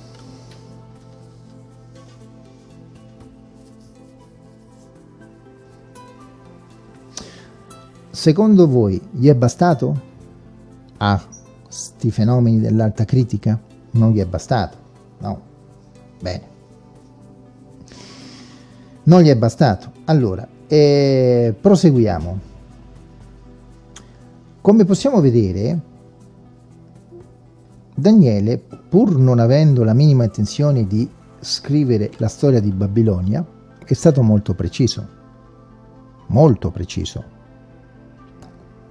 Allora, nell'antichità ci, so, ci sono stati storici, tra cui Senofonto, Beroso, Erodoto, più o meno intorno al IV secolo e al III secolo avanti Cristo, che ci hanno consegnato diverse storie, tra cui anche delle storie su Babilonia. Bene, le storie che ci hanno consegnato Beroso, Erodoto e Senofonte, e nonostante fossero del 300 del 400 avanti Cristo, non, non hanno potuto consegnarci quello che Daniele ci ha consegnato e loro stessi non sapevano quello che Daniele sapeva. Quindi come è possibile che qualcuno del secondo secolo avanti Cristo, appunto perché l'alta critica dice che si rifà a Porfirio, che dice che è stato scritto Daniele, il libro di Daniele è stato scritto nel 167, come potevano nel 167 sapere tutte queste cose quando neanche nel 400 a.C. con Senofonte, Erodoto e Beroso neanche loro sapevano queste cose che sono molto più antichi, li troviamo intorno al 400 a.C., Beroso è del, è del 355-270, Erodoto è del 484 al 430 e Senofonte è del 435 al 355. Come potevano sapere queste cose nel 200 a.C. quando neanche nel 400 a.C. le sapevano? Come può una enciclopedia dire che il libro di Daniele non è attendibile quando abbiamo tutte queste prove archeologiche, storiche, eccetera, eccetera? Come può il mondo ufologico dire che il libro di Daniele è una barzelletta? Alcuni dicono non ascoltate loro, non ascoltate lì. Voi non avete bisogno di nessuno per imparare la Bibbia. Eh, infatti lo vedo avete la vostra preparazione. Infatti queste cose le sapete tutti, proprio tutti. Infatti immagino che voi dite ai vostri figli di non andare all'università a studiare. Immagino, certo. Immagino che voi non mandiate i vostri figli a scuola, certo. Perché se questo vale per noi, se per lo studio delle cose della Bibbia, che sono discipline che tu non puoi farle tutte perché ti ci vorrebbero 50, vi eh, 50 vite, no? È, è, così, è così difficile, immagino che come vale per noi, questo vale anche per gli studi secolari, o no? Tu i tuoi figli non li mandi a scuola allora, no? Eh, basta che ti compri un libro e te lo leggi. Poi che lo Spirito Santo rivela direttamente, sì, certo, ma lo Spirito Santo non annulla i ministeri veri poi quelli falsi, quelli noi siamo i primi a denunciarli. Grazie a chi ci dà una mano a, denunciare i ministeri falsi. Se andate a vedere i nostri video datati 5 anni, 6 anni fa, vedete le denunce che abbiamo fatto dei ministeri falsi del mondo evangelico. Quindi, di che stiamo a parlare? Bene. Allora, non è, non è rimasta contenta l'alta critica con tutte queste cose, non era contenta per niente. Alla fine disse l'alta critica, sti fenomeni, dissero no, il, eh, il, libro, il libro di Daniele non è, non è legittimo, racconta favole. Dice come racconta favole, ma con tutte le scoperte sì, però a voi vi è sfuggita una cosa. Dice che praticamente il re era Nabonide, non era Belsasar. E invece, come vedete qui, il libro di Daniele chiama re a Belsasar, quando lui non era il re, il re era il papà. Quindi la Bibbia non è vera. Il libro di Daniele non è vero. Il libro di Daniele dicono loro che racconta favole. C'è, questa cosa qua allora, se, se voi eh, conoscete un po' la storia, voi sapreste, sapreste che nell'antichità in molte parti, non dappertutto, ma in molte parti, chiamavano re perfino il governatore. Pensate, il governatore veniva chiamato re. Figuriamoci chi era figlio del re. E restava in carica a regnare quando il vero re, il padre che era il padre, mancava per anni. È un po' come per fare un paragone, eh, per fare un esempio ai nostri giorni, è un po' come quelli che chiamano i suoceri mamma e papà, pur non lo sono, non so se può essere attinente, no? Non è mamma e papà, però spesso li chiamano in molte parti, in molte nazioni si usa chiamare i suoceri mamma e papà, non dappertutto, ma in molte sì. So, figuriamoci nelle alte cariche, conoscendo poi l'ego umano, vi potete immaginare se questo non si faceva chiamare re. Ma bisogna proprio essere ingenui. Bene, quindi intanto stiamo vedendo che l'attendibilità del libro eh, di Daniele è veramente a dir poco eh, impressionante. Bene, allora mi vorrei fermare un attimino per proseguire dopo. Ci vediamo tra qualche minuto. Bene cari amici, eccoci nuovamente giunti, ci siamo assentati un pochino e ora riprendiamo. Benissimo, vogliamo andare nella registrazione dello schermo. Ok, perfetto. Torniamo un attimino a... ok. Bene, allora vogliamo proseguire con eh, la dimostrazione che praticamente il libro di Daniele è un libro attendibilissimo, è un libro che eh, rappresenta in modo perfetto quello che è il discorso storico, infatti mh, mm, avevamo accennato che eh, sicuramente faremo un video o sicuramente insomma dobbiamo valutare dove eh, facciamo vedere che a un certo punto questo mondo ufologico nella loro pseudo nel loro pseudo dibattito quello non è stato un dibattito è stata una conferenza pilotata eh, con più eh, figure diciamo del mondo religioso praticamente questo mondo ufologico se ne è uscito fuori con l'infelice frase di cosa è allegoria, cosa non è allegoria, cosa è vero e cosa non è vero. E, e subito dopo, poi, eh, subito dopo, insomma, invece in questi giorni hanno fatto delle conferenze dove hanno chiaramente detto eh, che loro sono in grado di capire in modo perfetto quello che è allegoria, quello che non è allegoria, quello che vuol dire una parola in un contesto piuttosto che in un altro, quello che è vero da quello che non è vero.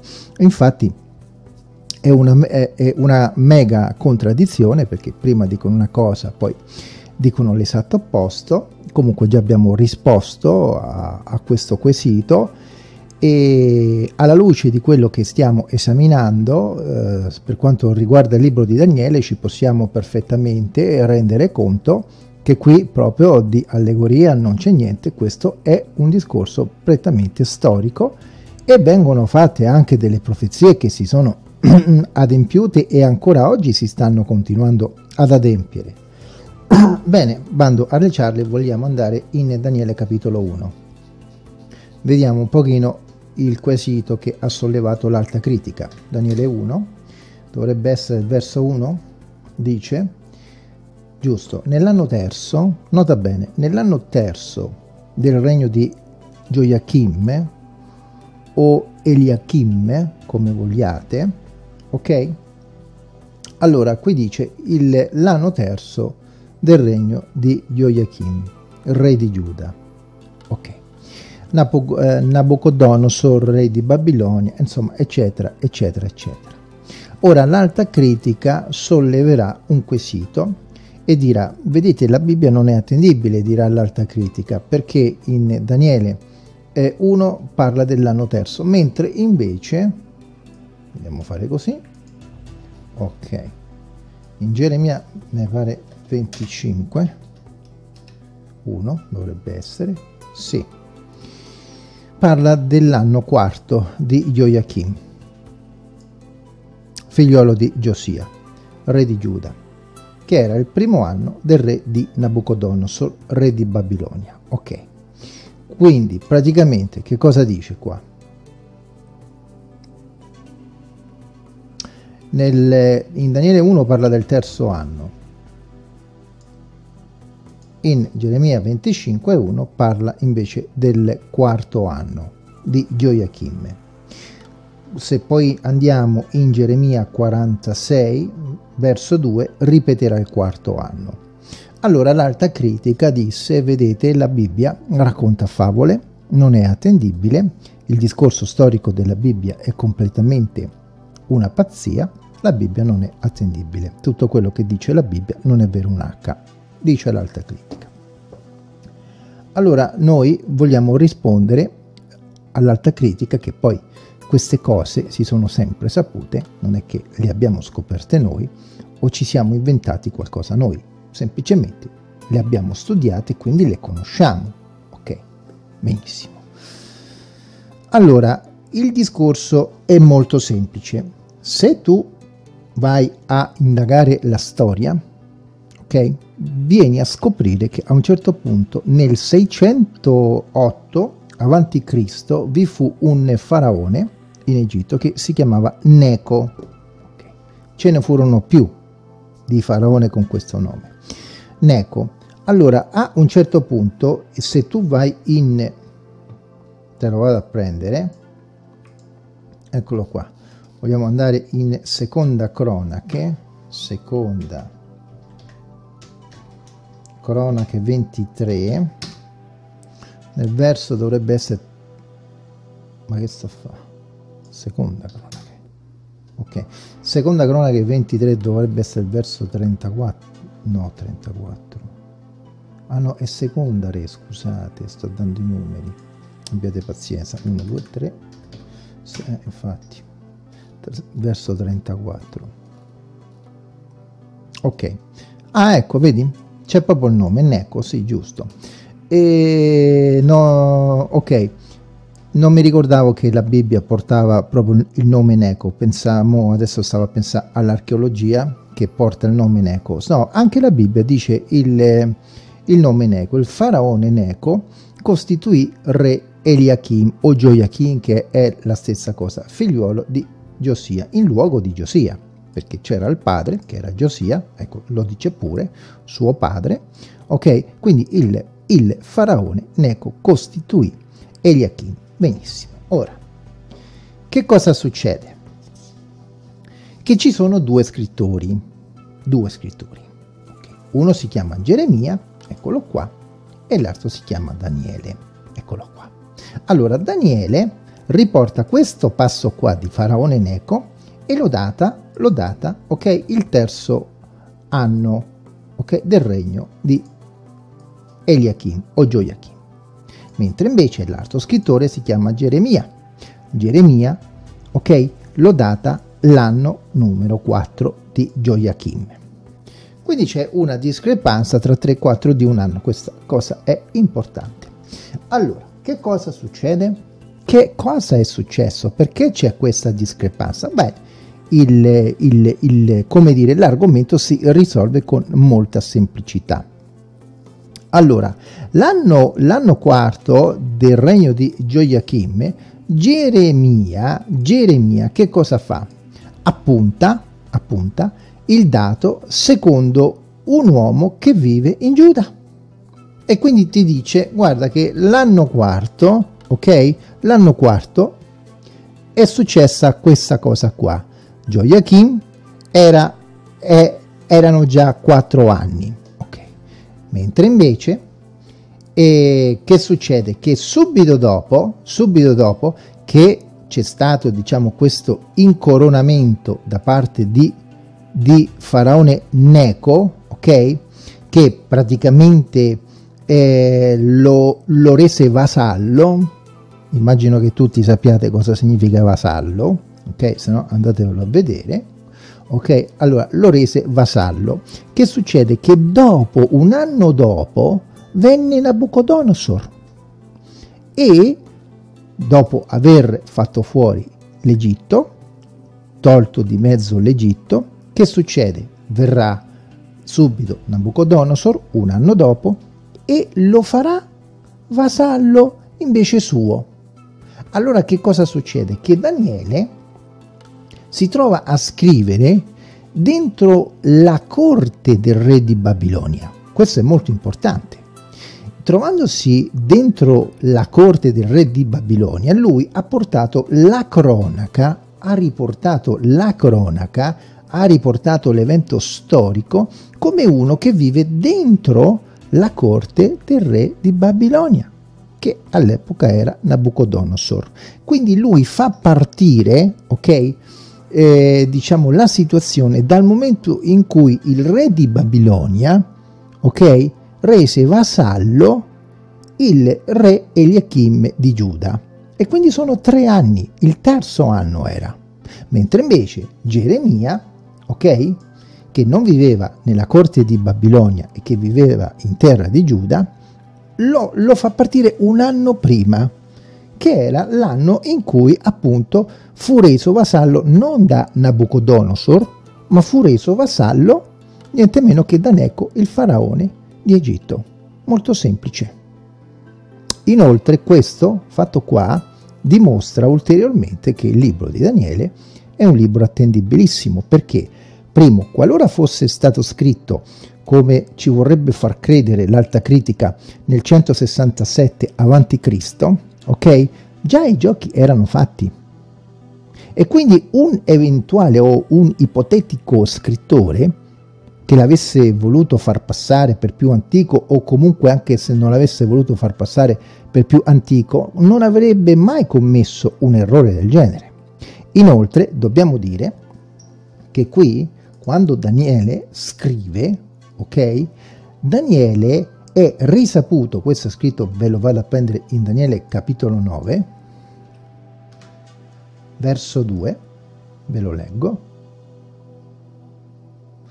Daniele scrive, nell'anno primo di esso, io Daniele, avendo inteso per i libri che il numero degli anni dei quali il Signore aveva parlato per il profeta Geremia, quindi Daniele conosceva perfettamente tutto il libro di Geremia e sapeva perfettamente che Geremia aveva datato quell'evento nel quarto anno. Quindi prima di andare contro un profeta, Daniele si sarebbe eh, curato bene di non farlo, eppure lo ha fatto proprio perché lui partiva da quella situazione, tanto più che lui stava a corte e doveva stare pure attento a onorare il, dire, il re di Babilonia, tra l'altro. E quindi Daniele era coscientissimo di quello che stava scrivendo. Quindi questa apparente discrepanza che andrebbe contro la veridicità di, delle sacre scritture bibliche non fa altro che avvalorare l'attendibilità di queste. Non so se siamo riusciti a spiegarci. Se spera. Benissimo. Allora,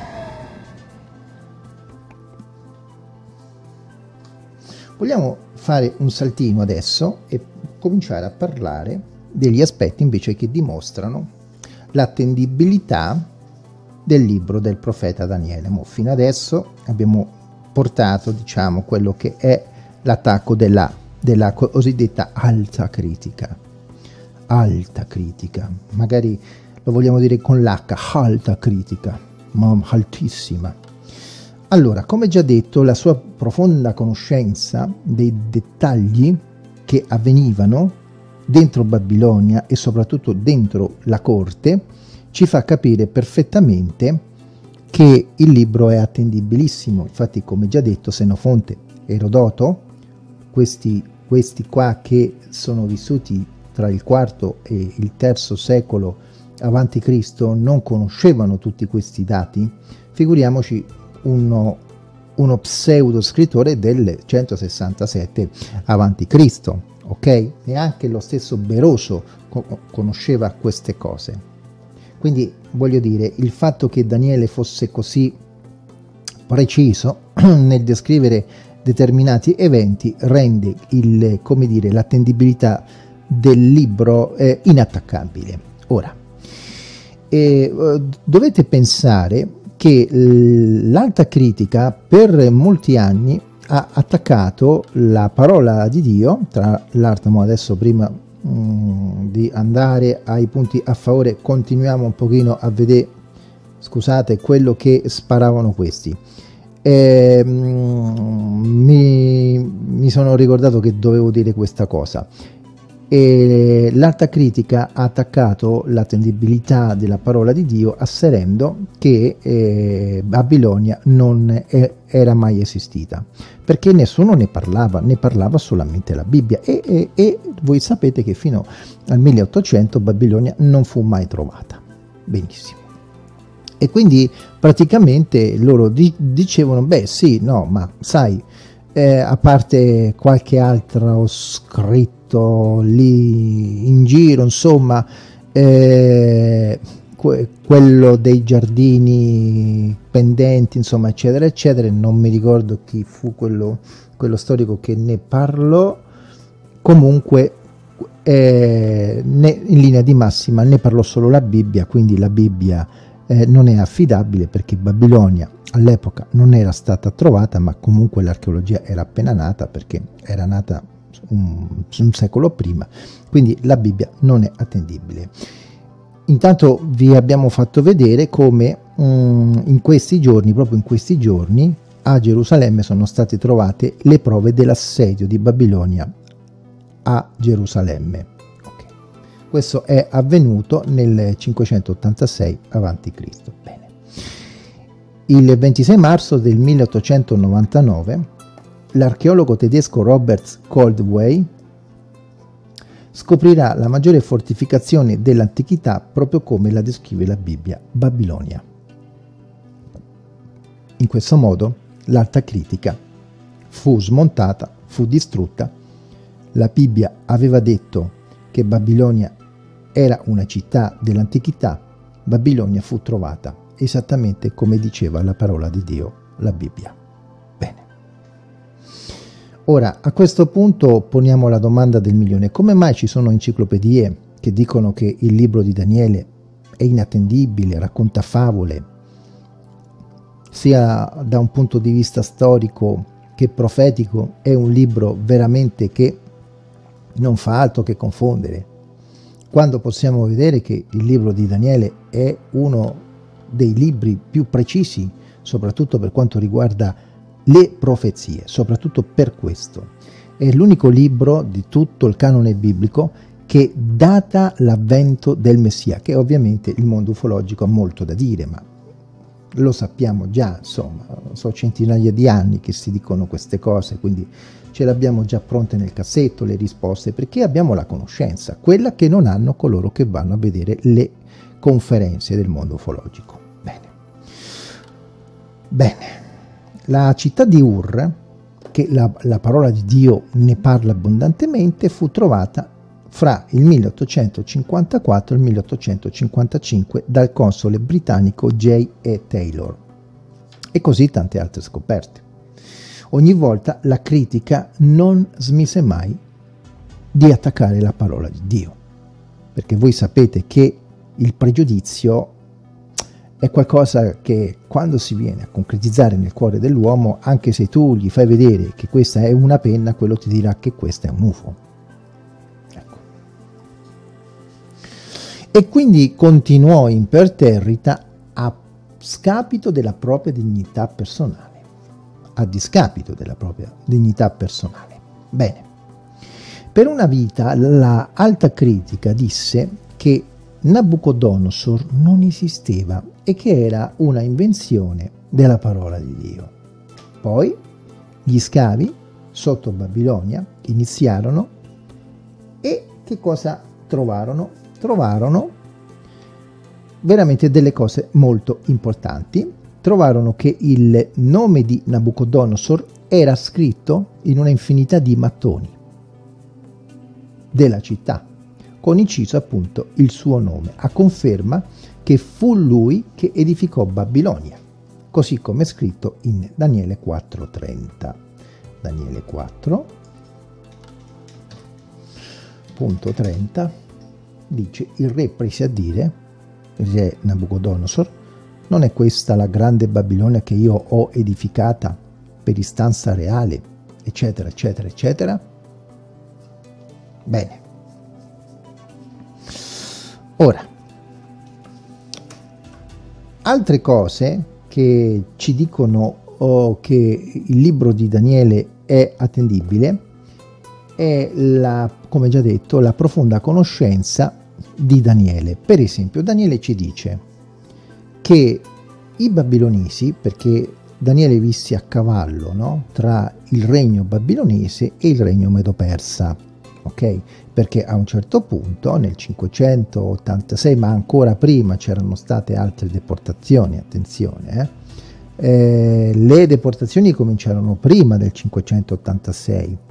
Ecco, tipo nel ci fu una grandissima deportazione.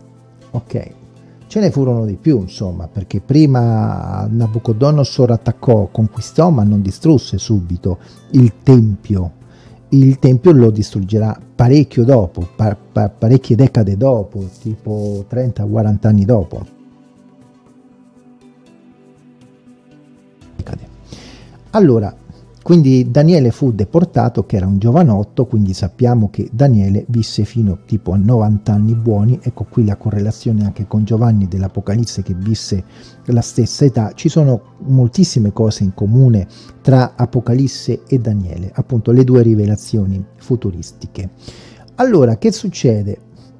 Che praticamente e Daniele, essendo vissuto a cavallo tra i due regni, perché poi lui passerà appunto i eh, 70 anni in, come dire, in questa cattività e in questa cattività poi la, eh, come dire, la parte finale della cattività sarà passata sempre in Babilonia ma sotto un altro regno, il regno Medo-Persa, che conquisterà appunto il regno babilonico, questo fu profetizzato, uno su tutti, in Daniele, mi pare capitolo 2, Daniele capitolo, poi capitolo 4 viene ripreso, insomma eh, c'è la stessa profezia che viene presa più volte, ma questa adesso è un'altra storia, non vogliamo soffermarci nelle profezie, lo faremo nel prossimo video.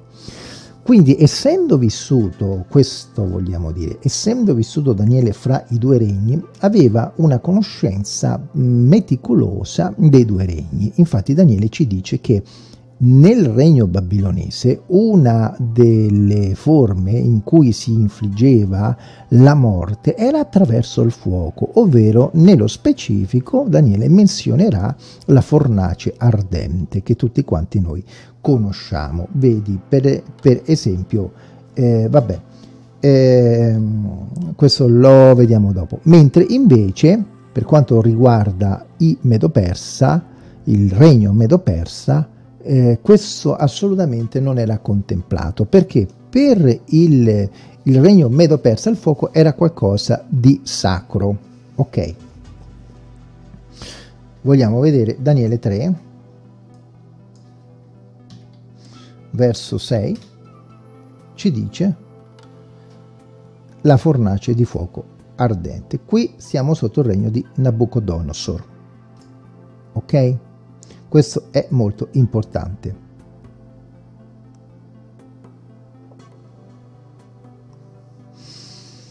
Mm. Mentre invece in, in Daniele, beh, mi pare che Daniele 6 dovrebbe essere, leoni, vediamo, leoni, sì, parla di infliggere la morte attraverso la fossa dei leoni. Eccolo qua. Ok, questo perché? Perché, come già detto, lo vogliamo ripetere, per il regno, i due regni Medo-Persia, perché poi si unirono, e il fuoco era qualcosa di sacro e non doveva essere utilizzato okay, per infliggere la morte. Ora, che cosa succede? Daniele ci dà questi dettagli che sono ver veramente eh, importantissimi facendo degli scavi, facendo degli scavi, tutte queste cose sono state poi trovate scritte, esattamente come la parola di Dio lo diceva, ce lo dice, ce lo rappresenta e la cosa incredibile è che neanche Senofonte, Erodoto, sono stati in grado di fornirci dei dettagli così precisi sulla parola di Dio nel 400 a.C. Figuriamoci un ipotetico scrittore del 167 del libro di Daniele. Questo è molto, molto, molto importante. Infatti Beroso, Senofonte e Erodoto vissero appunto tra il 400 e il 300 a.C., ma soprattutto tra il 400 a.C. Benissimo. Un altro dato che ci fornisce il libro di Daniele è la, la libertà e la non libertà dei propri sovrani. Per esempio, se tu leggi il capitolo 2 di Daniele, ti renderai conto che il re di Babilonia, Nabucodonosor, aveva un, eccolo qua, se voi ve lo leggete a casa, aveva un potere illimitato, cioè lui poteva fare, dire e disfare come, come meglio credeva.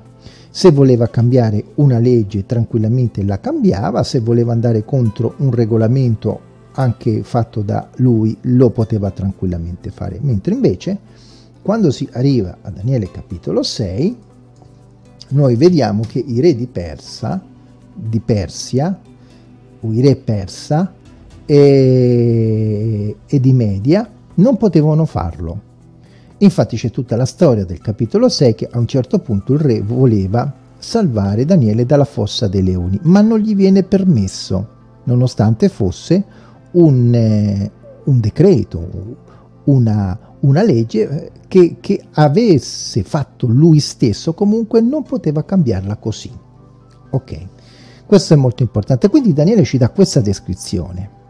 Che succede? Che vengono fatti gli scavi, e vengono scoperte delle scritte dove appunto viene sottolineato, viene precisato quanto abbiamo detto e ripetiamo ulteriormente Erodoto, Senofonte e Beroso del IV secolo a.C. queste cose non le sapevano.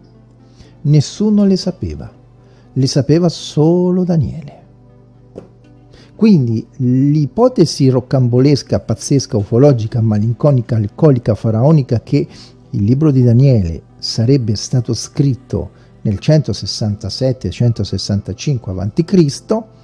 è una follia. Questo perché? Perché le profezie che Daniele ha fatto sono talmente esatte che, secondo l'alta critica, sarebbe impossibile farle. Che amarezza! Benissimo. Allora.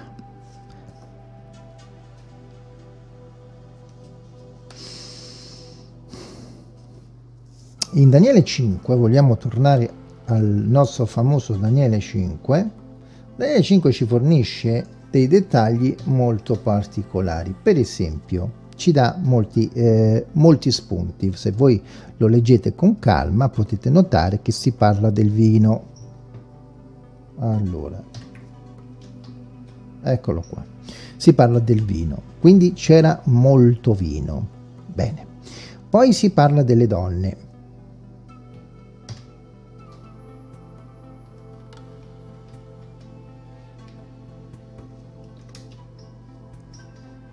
allora.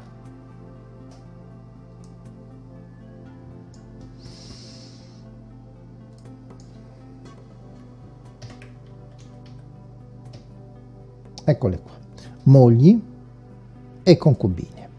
Ok, benissimo, quindi ci dice che praticamente c'era vino abbondante, cibo abbondante, donne abbondanti, nel senso che c'erano concubine, spose e chissà quante altre c'erano.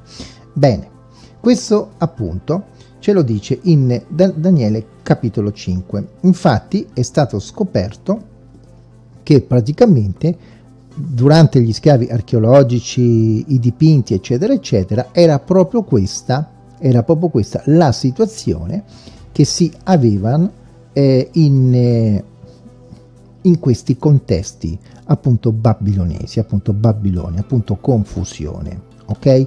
Quando noi parliamo di Babilonia dobbiamo essere, come dire, avere la mente aperta perché Babilonia non rappresenta solo una città, ma Babilonia rappresenta un contesto ok, religioso che Babilonia ce la portiamo dall'inizio dei tempi fino all'ultima ora del, come dire, eh, del momento prima che appunto il Signore torni per la sua volta, eh, per, per, regnare, insomma, per la sua seconda volta. Babilonia è un discorso, Babilonia significa confusione, confusione in primis spirituale, ma poi anche materiale e insomma, eccetera, eccetera, eccetera. Benissimo. Mm, per i, i, rabbini vorrei farvi notare un qualche cosa. Per i rabbini, voi sapete che il rabbinato nasce su per giù nel 200 a.C., più o meno quella è l'età. Per i rabbini, per i rabbini era un come dire, un qualcosa di abominevole, abominevole eh, vedere, come dire, fare una cosa del genere, fare dei banchetti dove c'erano le donne, le mogli, concubine, per loro era qualcosa da strapparsi barba, capelli, tutto. Tant'è abominevole per loro, tant'era abominevole per loro, che incredibilmente, dole dirlo, ma è la verità, quando i rabbini, 70 rabbini scriveranno la Septuaginta, la 70, ometteranno queste poche parole dove erano presenti mogli e concubine, perché per loro era un abominio. Figuriamoci se un ipotetico scrittore del 167, epoca in cui c'erano i rabbini, avesse fatto una cosa del genere, quando gli stessi rabbini non l'hanno messo nella 70.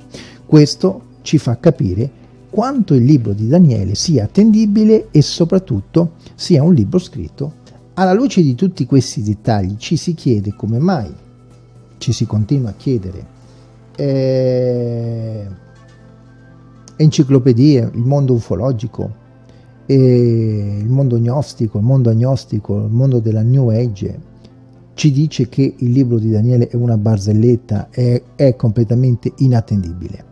Per non parlare poi delle profezie che, come già detto in ulteriori video, addirittura History Channel gli ha dedicato fior di capitoli alle profezie di Daniele. Benissimo. Allora, vi è stato raccontato che Daniele è una bufala perché, tra le tante cose, non è stato inserito nel libro dei profeti. Noi ci mettiamo a ridere ma ci mettiamo grandemente a ridere. Allora, nell'antichità si dice, si dice nell'antichità che come oggi e come al tempo forse di Cristo in modo rigoroso, vediamo, eh, tutta la scrittura del Tanakh, quindi de, quello che noi conosciamo come l'Antico Testamento, era divisa in tre rotoli, che era la Torah, i Ketuvim e i Nevi'im. I Nevi'im sono i profeti, la Torah è appunto il Pentateuco, insegnamento, e i Ketuvim viene da Katav, che significa gli scritti. Ok, bene. E questo qui, questo libro qui, loro dicono che praticamente è stato inserito nei Ketuvim, sì, ma è stato inserito nei Ketuvim, oggi lo troviamo eh, inserito nei Ketuvim, ma moltissimi, moltissimi eruditi al mondo non sono poi così d'accordo che nell'antichità, nell'antichità, questa divisione di Ketuvim, Neviim, e Torah fosse così rigorosa nel mettere un libro piuttosto che un altro in un gruppo piuttosto che in un altro, ovviamente facendo forse eccezione per la Torah. Quindi questo non prova niente, perché non ci sono prove a tal proposito. Bene, ma andiamo avanti. E vi vorrei far notare, questo lo stavamo pensando noi, che praticamente il, il, il fatto che Daniele non viene inserito nel libro dei profeti attualmente, questo non significa che lui non abbia profetizzato. Vogliamo spiegarci meglio. Allora, per gli ebrei è, è indiscutibile, è indiscutibile, per gli ebrei un po' tutti, ok? il mondo giudaico, diciamo, per il mondo giudaico è indiscutibile che Daniele abbia profetizzato. Il problema nel mondo giudaico non sta sul fatto se Daniele ha profetizzato o non ha profetizzato, perché che ha profetizzato, santo Dio benedetto, sia gloria al tuo nome, basta legge e fa finta de crede a quello che si legge, che si vede perfettamente che c'è una profezia dietro l'altra. Quindi loro non discutono il fatto che ci siano delle profezie, loro dicono no, Daniele ha profetizzato, ma non era un profeta. Ecco. Ora noi che siamo evangelici questo discorso lo capiamo molto bene, molto bene lo capiamo, ma non lo stiamo adesso qui a spiegare, non, non fa parte adesso dell'argomento, dell'oggetto. Allora loro dicono lui ha profetizzato ma non era un profeta perché si può profetizzare senza essere profeti. Ora questo è quello che loro dicono. Noi non siamo d'accordo, noi invece lo riconosciamo come il profeta, uno dei profeti per eccellenza. Ora, perché però loro dicono non era un profeta? Semplice. Loro dicono non era un profeta perché il profeta riceveva la parola direttamente da Dio. Vedi Isaia, Ezechiele, Geremia, eccetera. Cioè Osea, Gioele, Amos, Abdia, Giona, Michea, Naum, Abacuc, Sofonia, Ageo, Zaccaria, Malachia. Vedi come ricevevano la parola. Daniele ebbe un approccio diverso con l'Altissimo perché ricevette le profezie da parte o di arcangeli oppure tramite visioni e o sogni ragion per cui il mondo giudaico dice non era un profeta, anche se profetizzò. Quindi qualora anche fosse vero, che non è vero, però qualora fosse vero, che cambia? Annulla questo il fatto che Daniele, che ci sia scritto quello che c'è scritto, oppure annulla il fatto che non sappiamo chi ha scritto determinati libri, quello che c'è scritto? Quando tu prendi un tutto città, tu mica lo sai chi l'ha scritto sto tutto città, ma dove devi arrivare ci arrivi. E così è la parola di Dio. Queste sciocchezze che va dicendo il mondo ufologico che la Bibbia non è attendibile perché non sappiamo chi l'ha scritta, struzzo chi ci crede, struzzo l'animale, l'abbiamo già spiegato perché, struzzo chi ci crede. Il fatto che Daniele non, fosse, eh, non, non sia inserito dagli ebrei in mezzo ai profeti, che cambia? E comunque l'abbiamo spiegato il perché. Molto semplice. Cari amici in ascolto, un altro motivo, ecco questo non lo diciamo noi, quello che stiamo per asserire, lo, lo dicono altri però siccome eh, potrebbe essere una ipotesi attendibile, quindi la, la, presentiamo e comunque è una ipotesi. Potrebbe essere vero, potrebbe essere falso. Un, un altro motivo per, per il quale potrebbe non essere stato inserito fra i profeti è il fatto che Daniele ha servito, ha servito con la S maiuscola in una corte pagana in esilio e non una qualsiasi corte, ma la corte di Babilonia, che ha preso il popolo giudeo e lo ha reso schiavo, primo. Secondo, ha preso il popolo giudeo e lo ha espatriato. Terzo, ha preso il tempio di Dio, che era all'epoca il primo tempio di Salomone, e lo ha distrutto. Certamente questo a Daniele non gli ha fatto una buona pubblicità. Non ha guadagnato Daniele fama tra i suoi coetanei per questo motivo. Ovvero magari non subito, ma immediatamente dopo, anche se poi tra un po' vedremo altre sfaccettature. Quindi questo potrebbe far sì che gli ebrei non l'abbiano inserito in mezzo ai profeti. È un'ipotesi, per carità, non la vogliamo presentare come l'oro colato, ma comunque ci sta.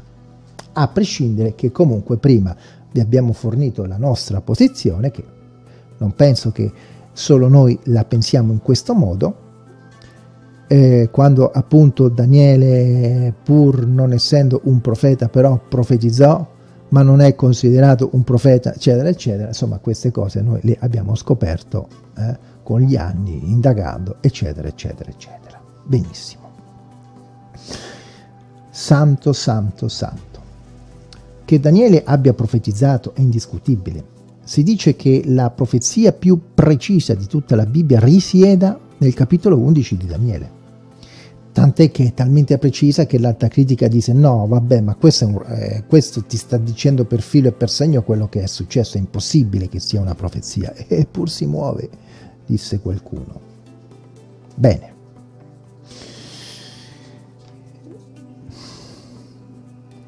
Quando questi dicono che addirittura Daniele è stato eh, scritto nel, nel 167 eccetera eccetera non conoscono neanche la storia del canone ebraico nel 200 a.C. il canone ebraico era già chiuso ma da una vita da una vita, da più di 100 anni, il canone ebraico era già chiuso, da almeno 150 anni.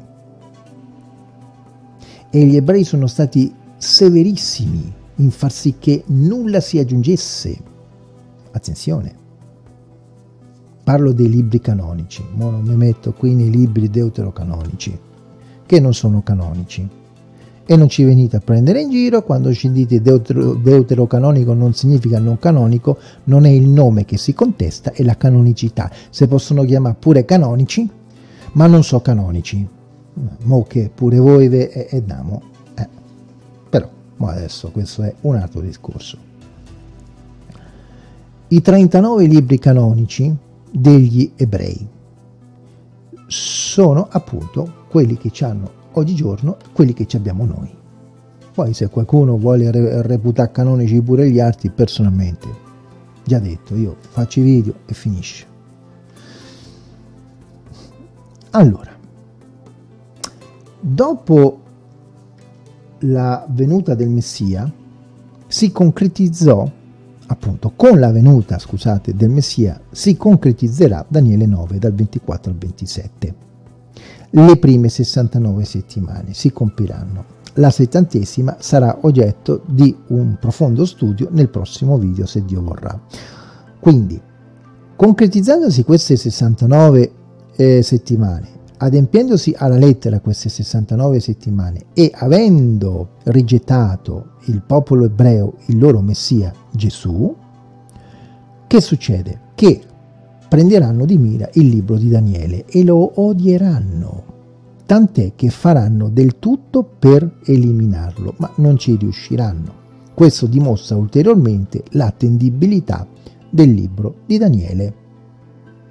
Tant'è vero che loro odieranno questo libro, per chi provasse a negare, chiunque studia un po' quella che è la storia del rabbinato, eccetera, eccetera, sa perfettamente che almeno fino a poco fa, fino a pochissimi anni fa, il libro di Daniele non era permesso studiarlo nelle yeshiva, eccetera, eccetera, se non prima dei 40 anni. Un po' come lo Zoare, eccetera, eccetera. Questo magari non tutti i circoli, benissimo, per carità, non vogliamo dire, adesso non sappiamo se in tutti i circoli, ma siamo coscienti del fatto che in molti circoli del giudaismo era proibito studiare il libro di Daniele prima dei 40 anni, non te lo facevano studiare. Quindi Daniele è stato, come dire, è stato odiato dagli ebrei proprio per questo motivo, perché Daniele è stato preciso nel annunciare e datare la venuta di Cristo. La prima venuta di Cristo è stata datata. L'alta critica sfornò lo scritto dell'apocrifo ecclesiaste Ben Sirà, dicendo Ben Sirà nella sua lista che ce l'abbiamo qui scaricata, l'abbiamo esaminata e non vabbè, è inutile ve la faccio vedere. De, comunque dal capitolo 45 in, in, modo timido inizia la lista e poi man mano che i capitoli, come dire, si passano, la, la, la, lista diventa sempre un pochino più evidente e non appare il, il nome di Daniele nell'apocrifo di Ben Sirà. E quindi siccome non appare nel libro di Ben Sirà, Daniele non è attendibile, dice l'alta critica allora noi rispondiamo, allora non è attendibile neanche Mardocheo ed Esdra perché lì in quella lista mancano. E vai a toccare Esdra e Mardocheo agli ebrei. Vedete, questo non dice nulla. Non dice nulla, tant'è che gli stessi rabbini fanno notare l'assenza appunto di Mardocheo di Esdra, ma non solo Mardocheo e Esdra, troppi ne mancano.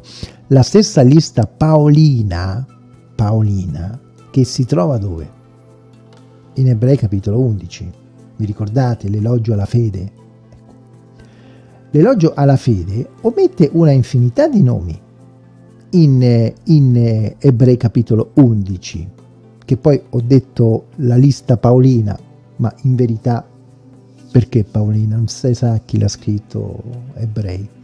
Domanda, ma perché non sappiamo chi l'ha scritto, il libro perde di attendibilità, ma che ci interessa? La firma del libro o il contenuto? State fuori, cari amici. Bene. Ora, il Daniele 11, ve lo voglio prendere, accenna Daniele però, secondo noi e secondo molti. E mo ve lo dimostriamo. Eccolo qua, Daniele 11. Questo è Daniele 11. Se tu vai al verso 33, ti dice quanto segue, i quali per fede vinsero regni, operarono giustizia, ottennero promesse, turarono le gole ai leoni. Eccolo qua. In tutta la scrittura veterotestamentaria puoi cercare dove ti pare non troverai un altro fatto come quello di Daniele, che fu gettato alla fossa dei leoni e i leoni non se lo mangiarono. Inoltre, se tu vai in Matteo 24 e vai al verso 15, Qui è Gesù che parla. Gesù dice, quando dunque avrete veduta l'abominazione della desolazione del quale ha parlato il profeta Daniele, e lì lo stavano ascoltando i rabbini e nessuno disse che stai a Dio o non è vero. Ora, l'abominazione della desolazione in tutta la scrittura si trova solamente e unicamente che in due posti.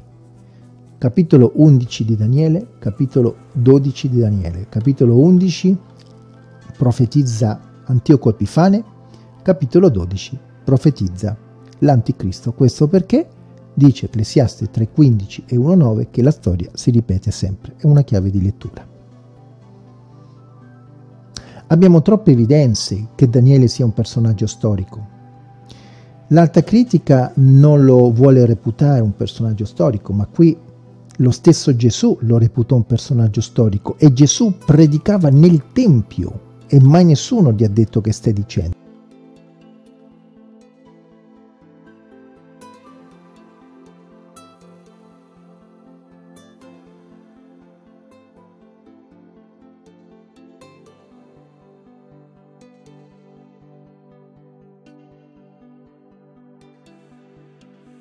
Flavio Giuseppe.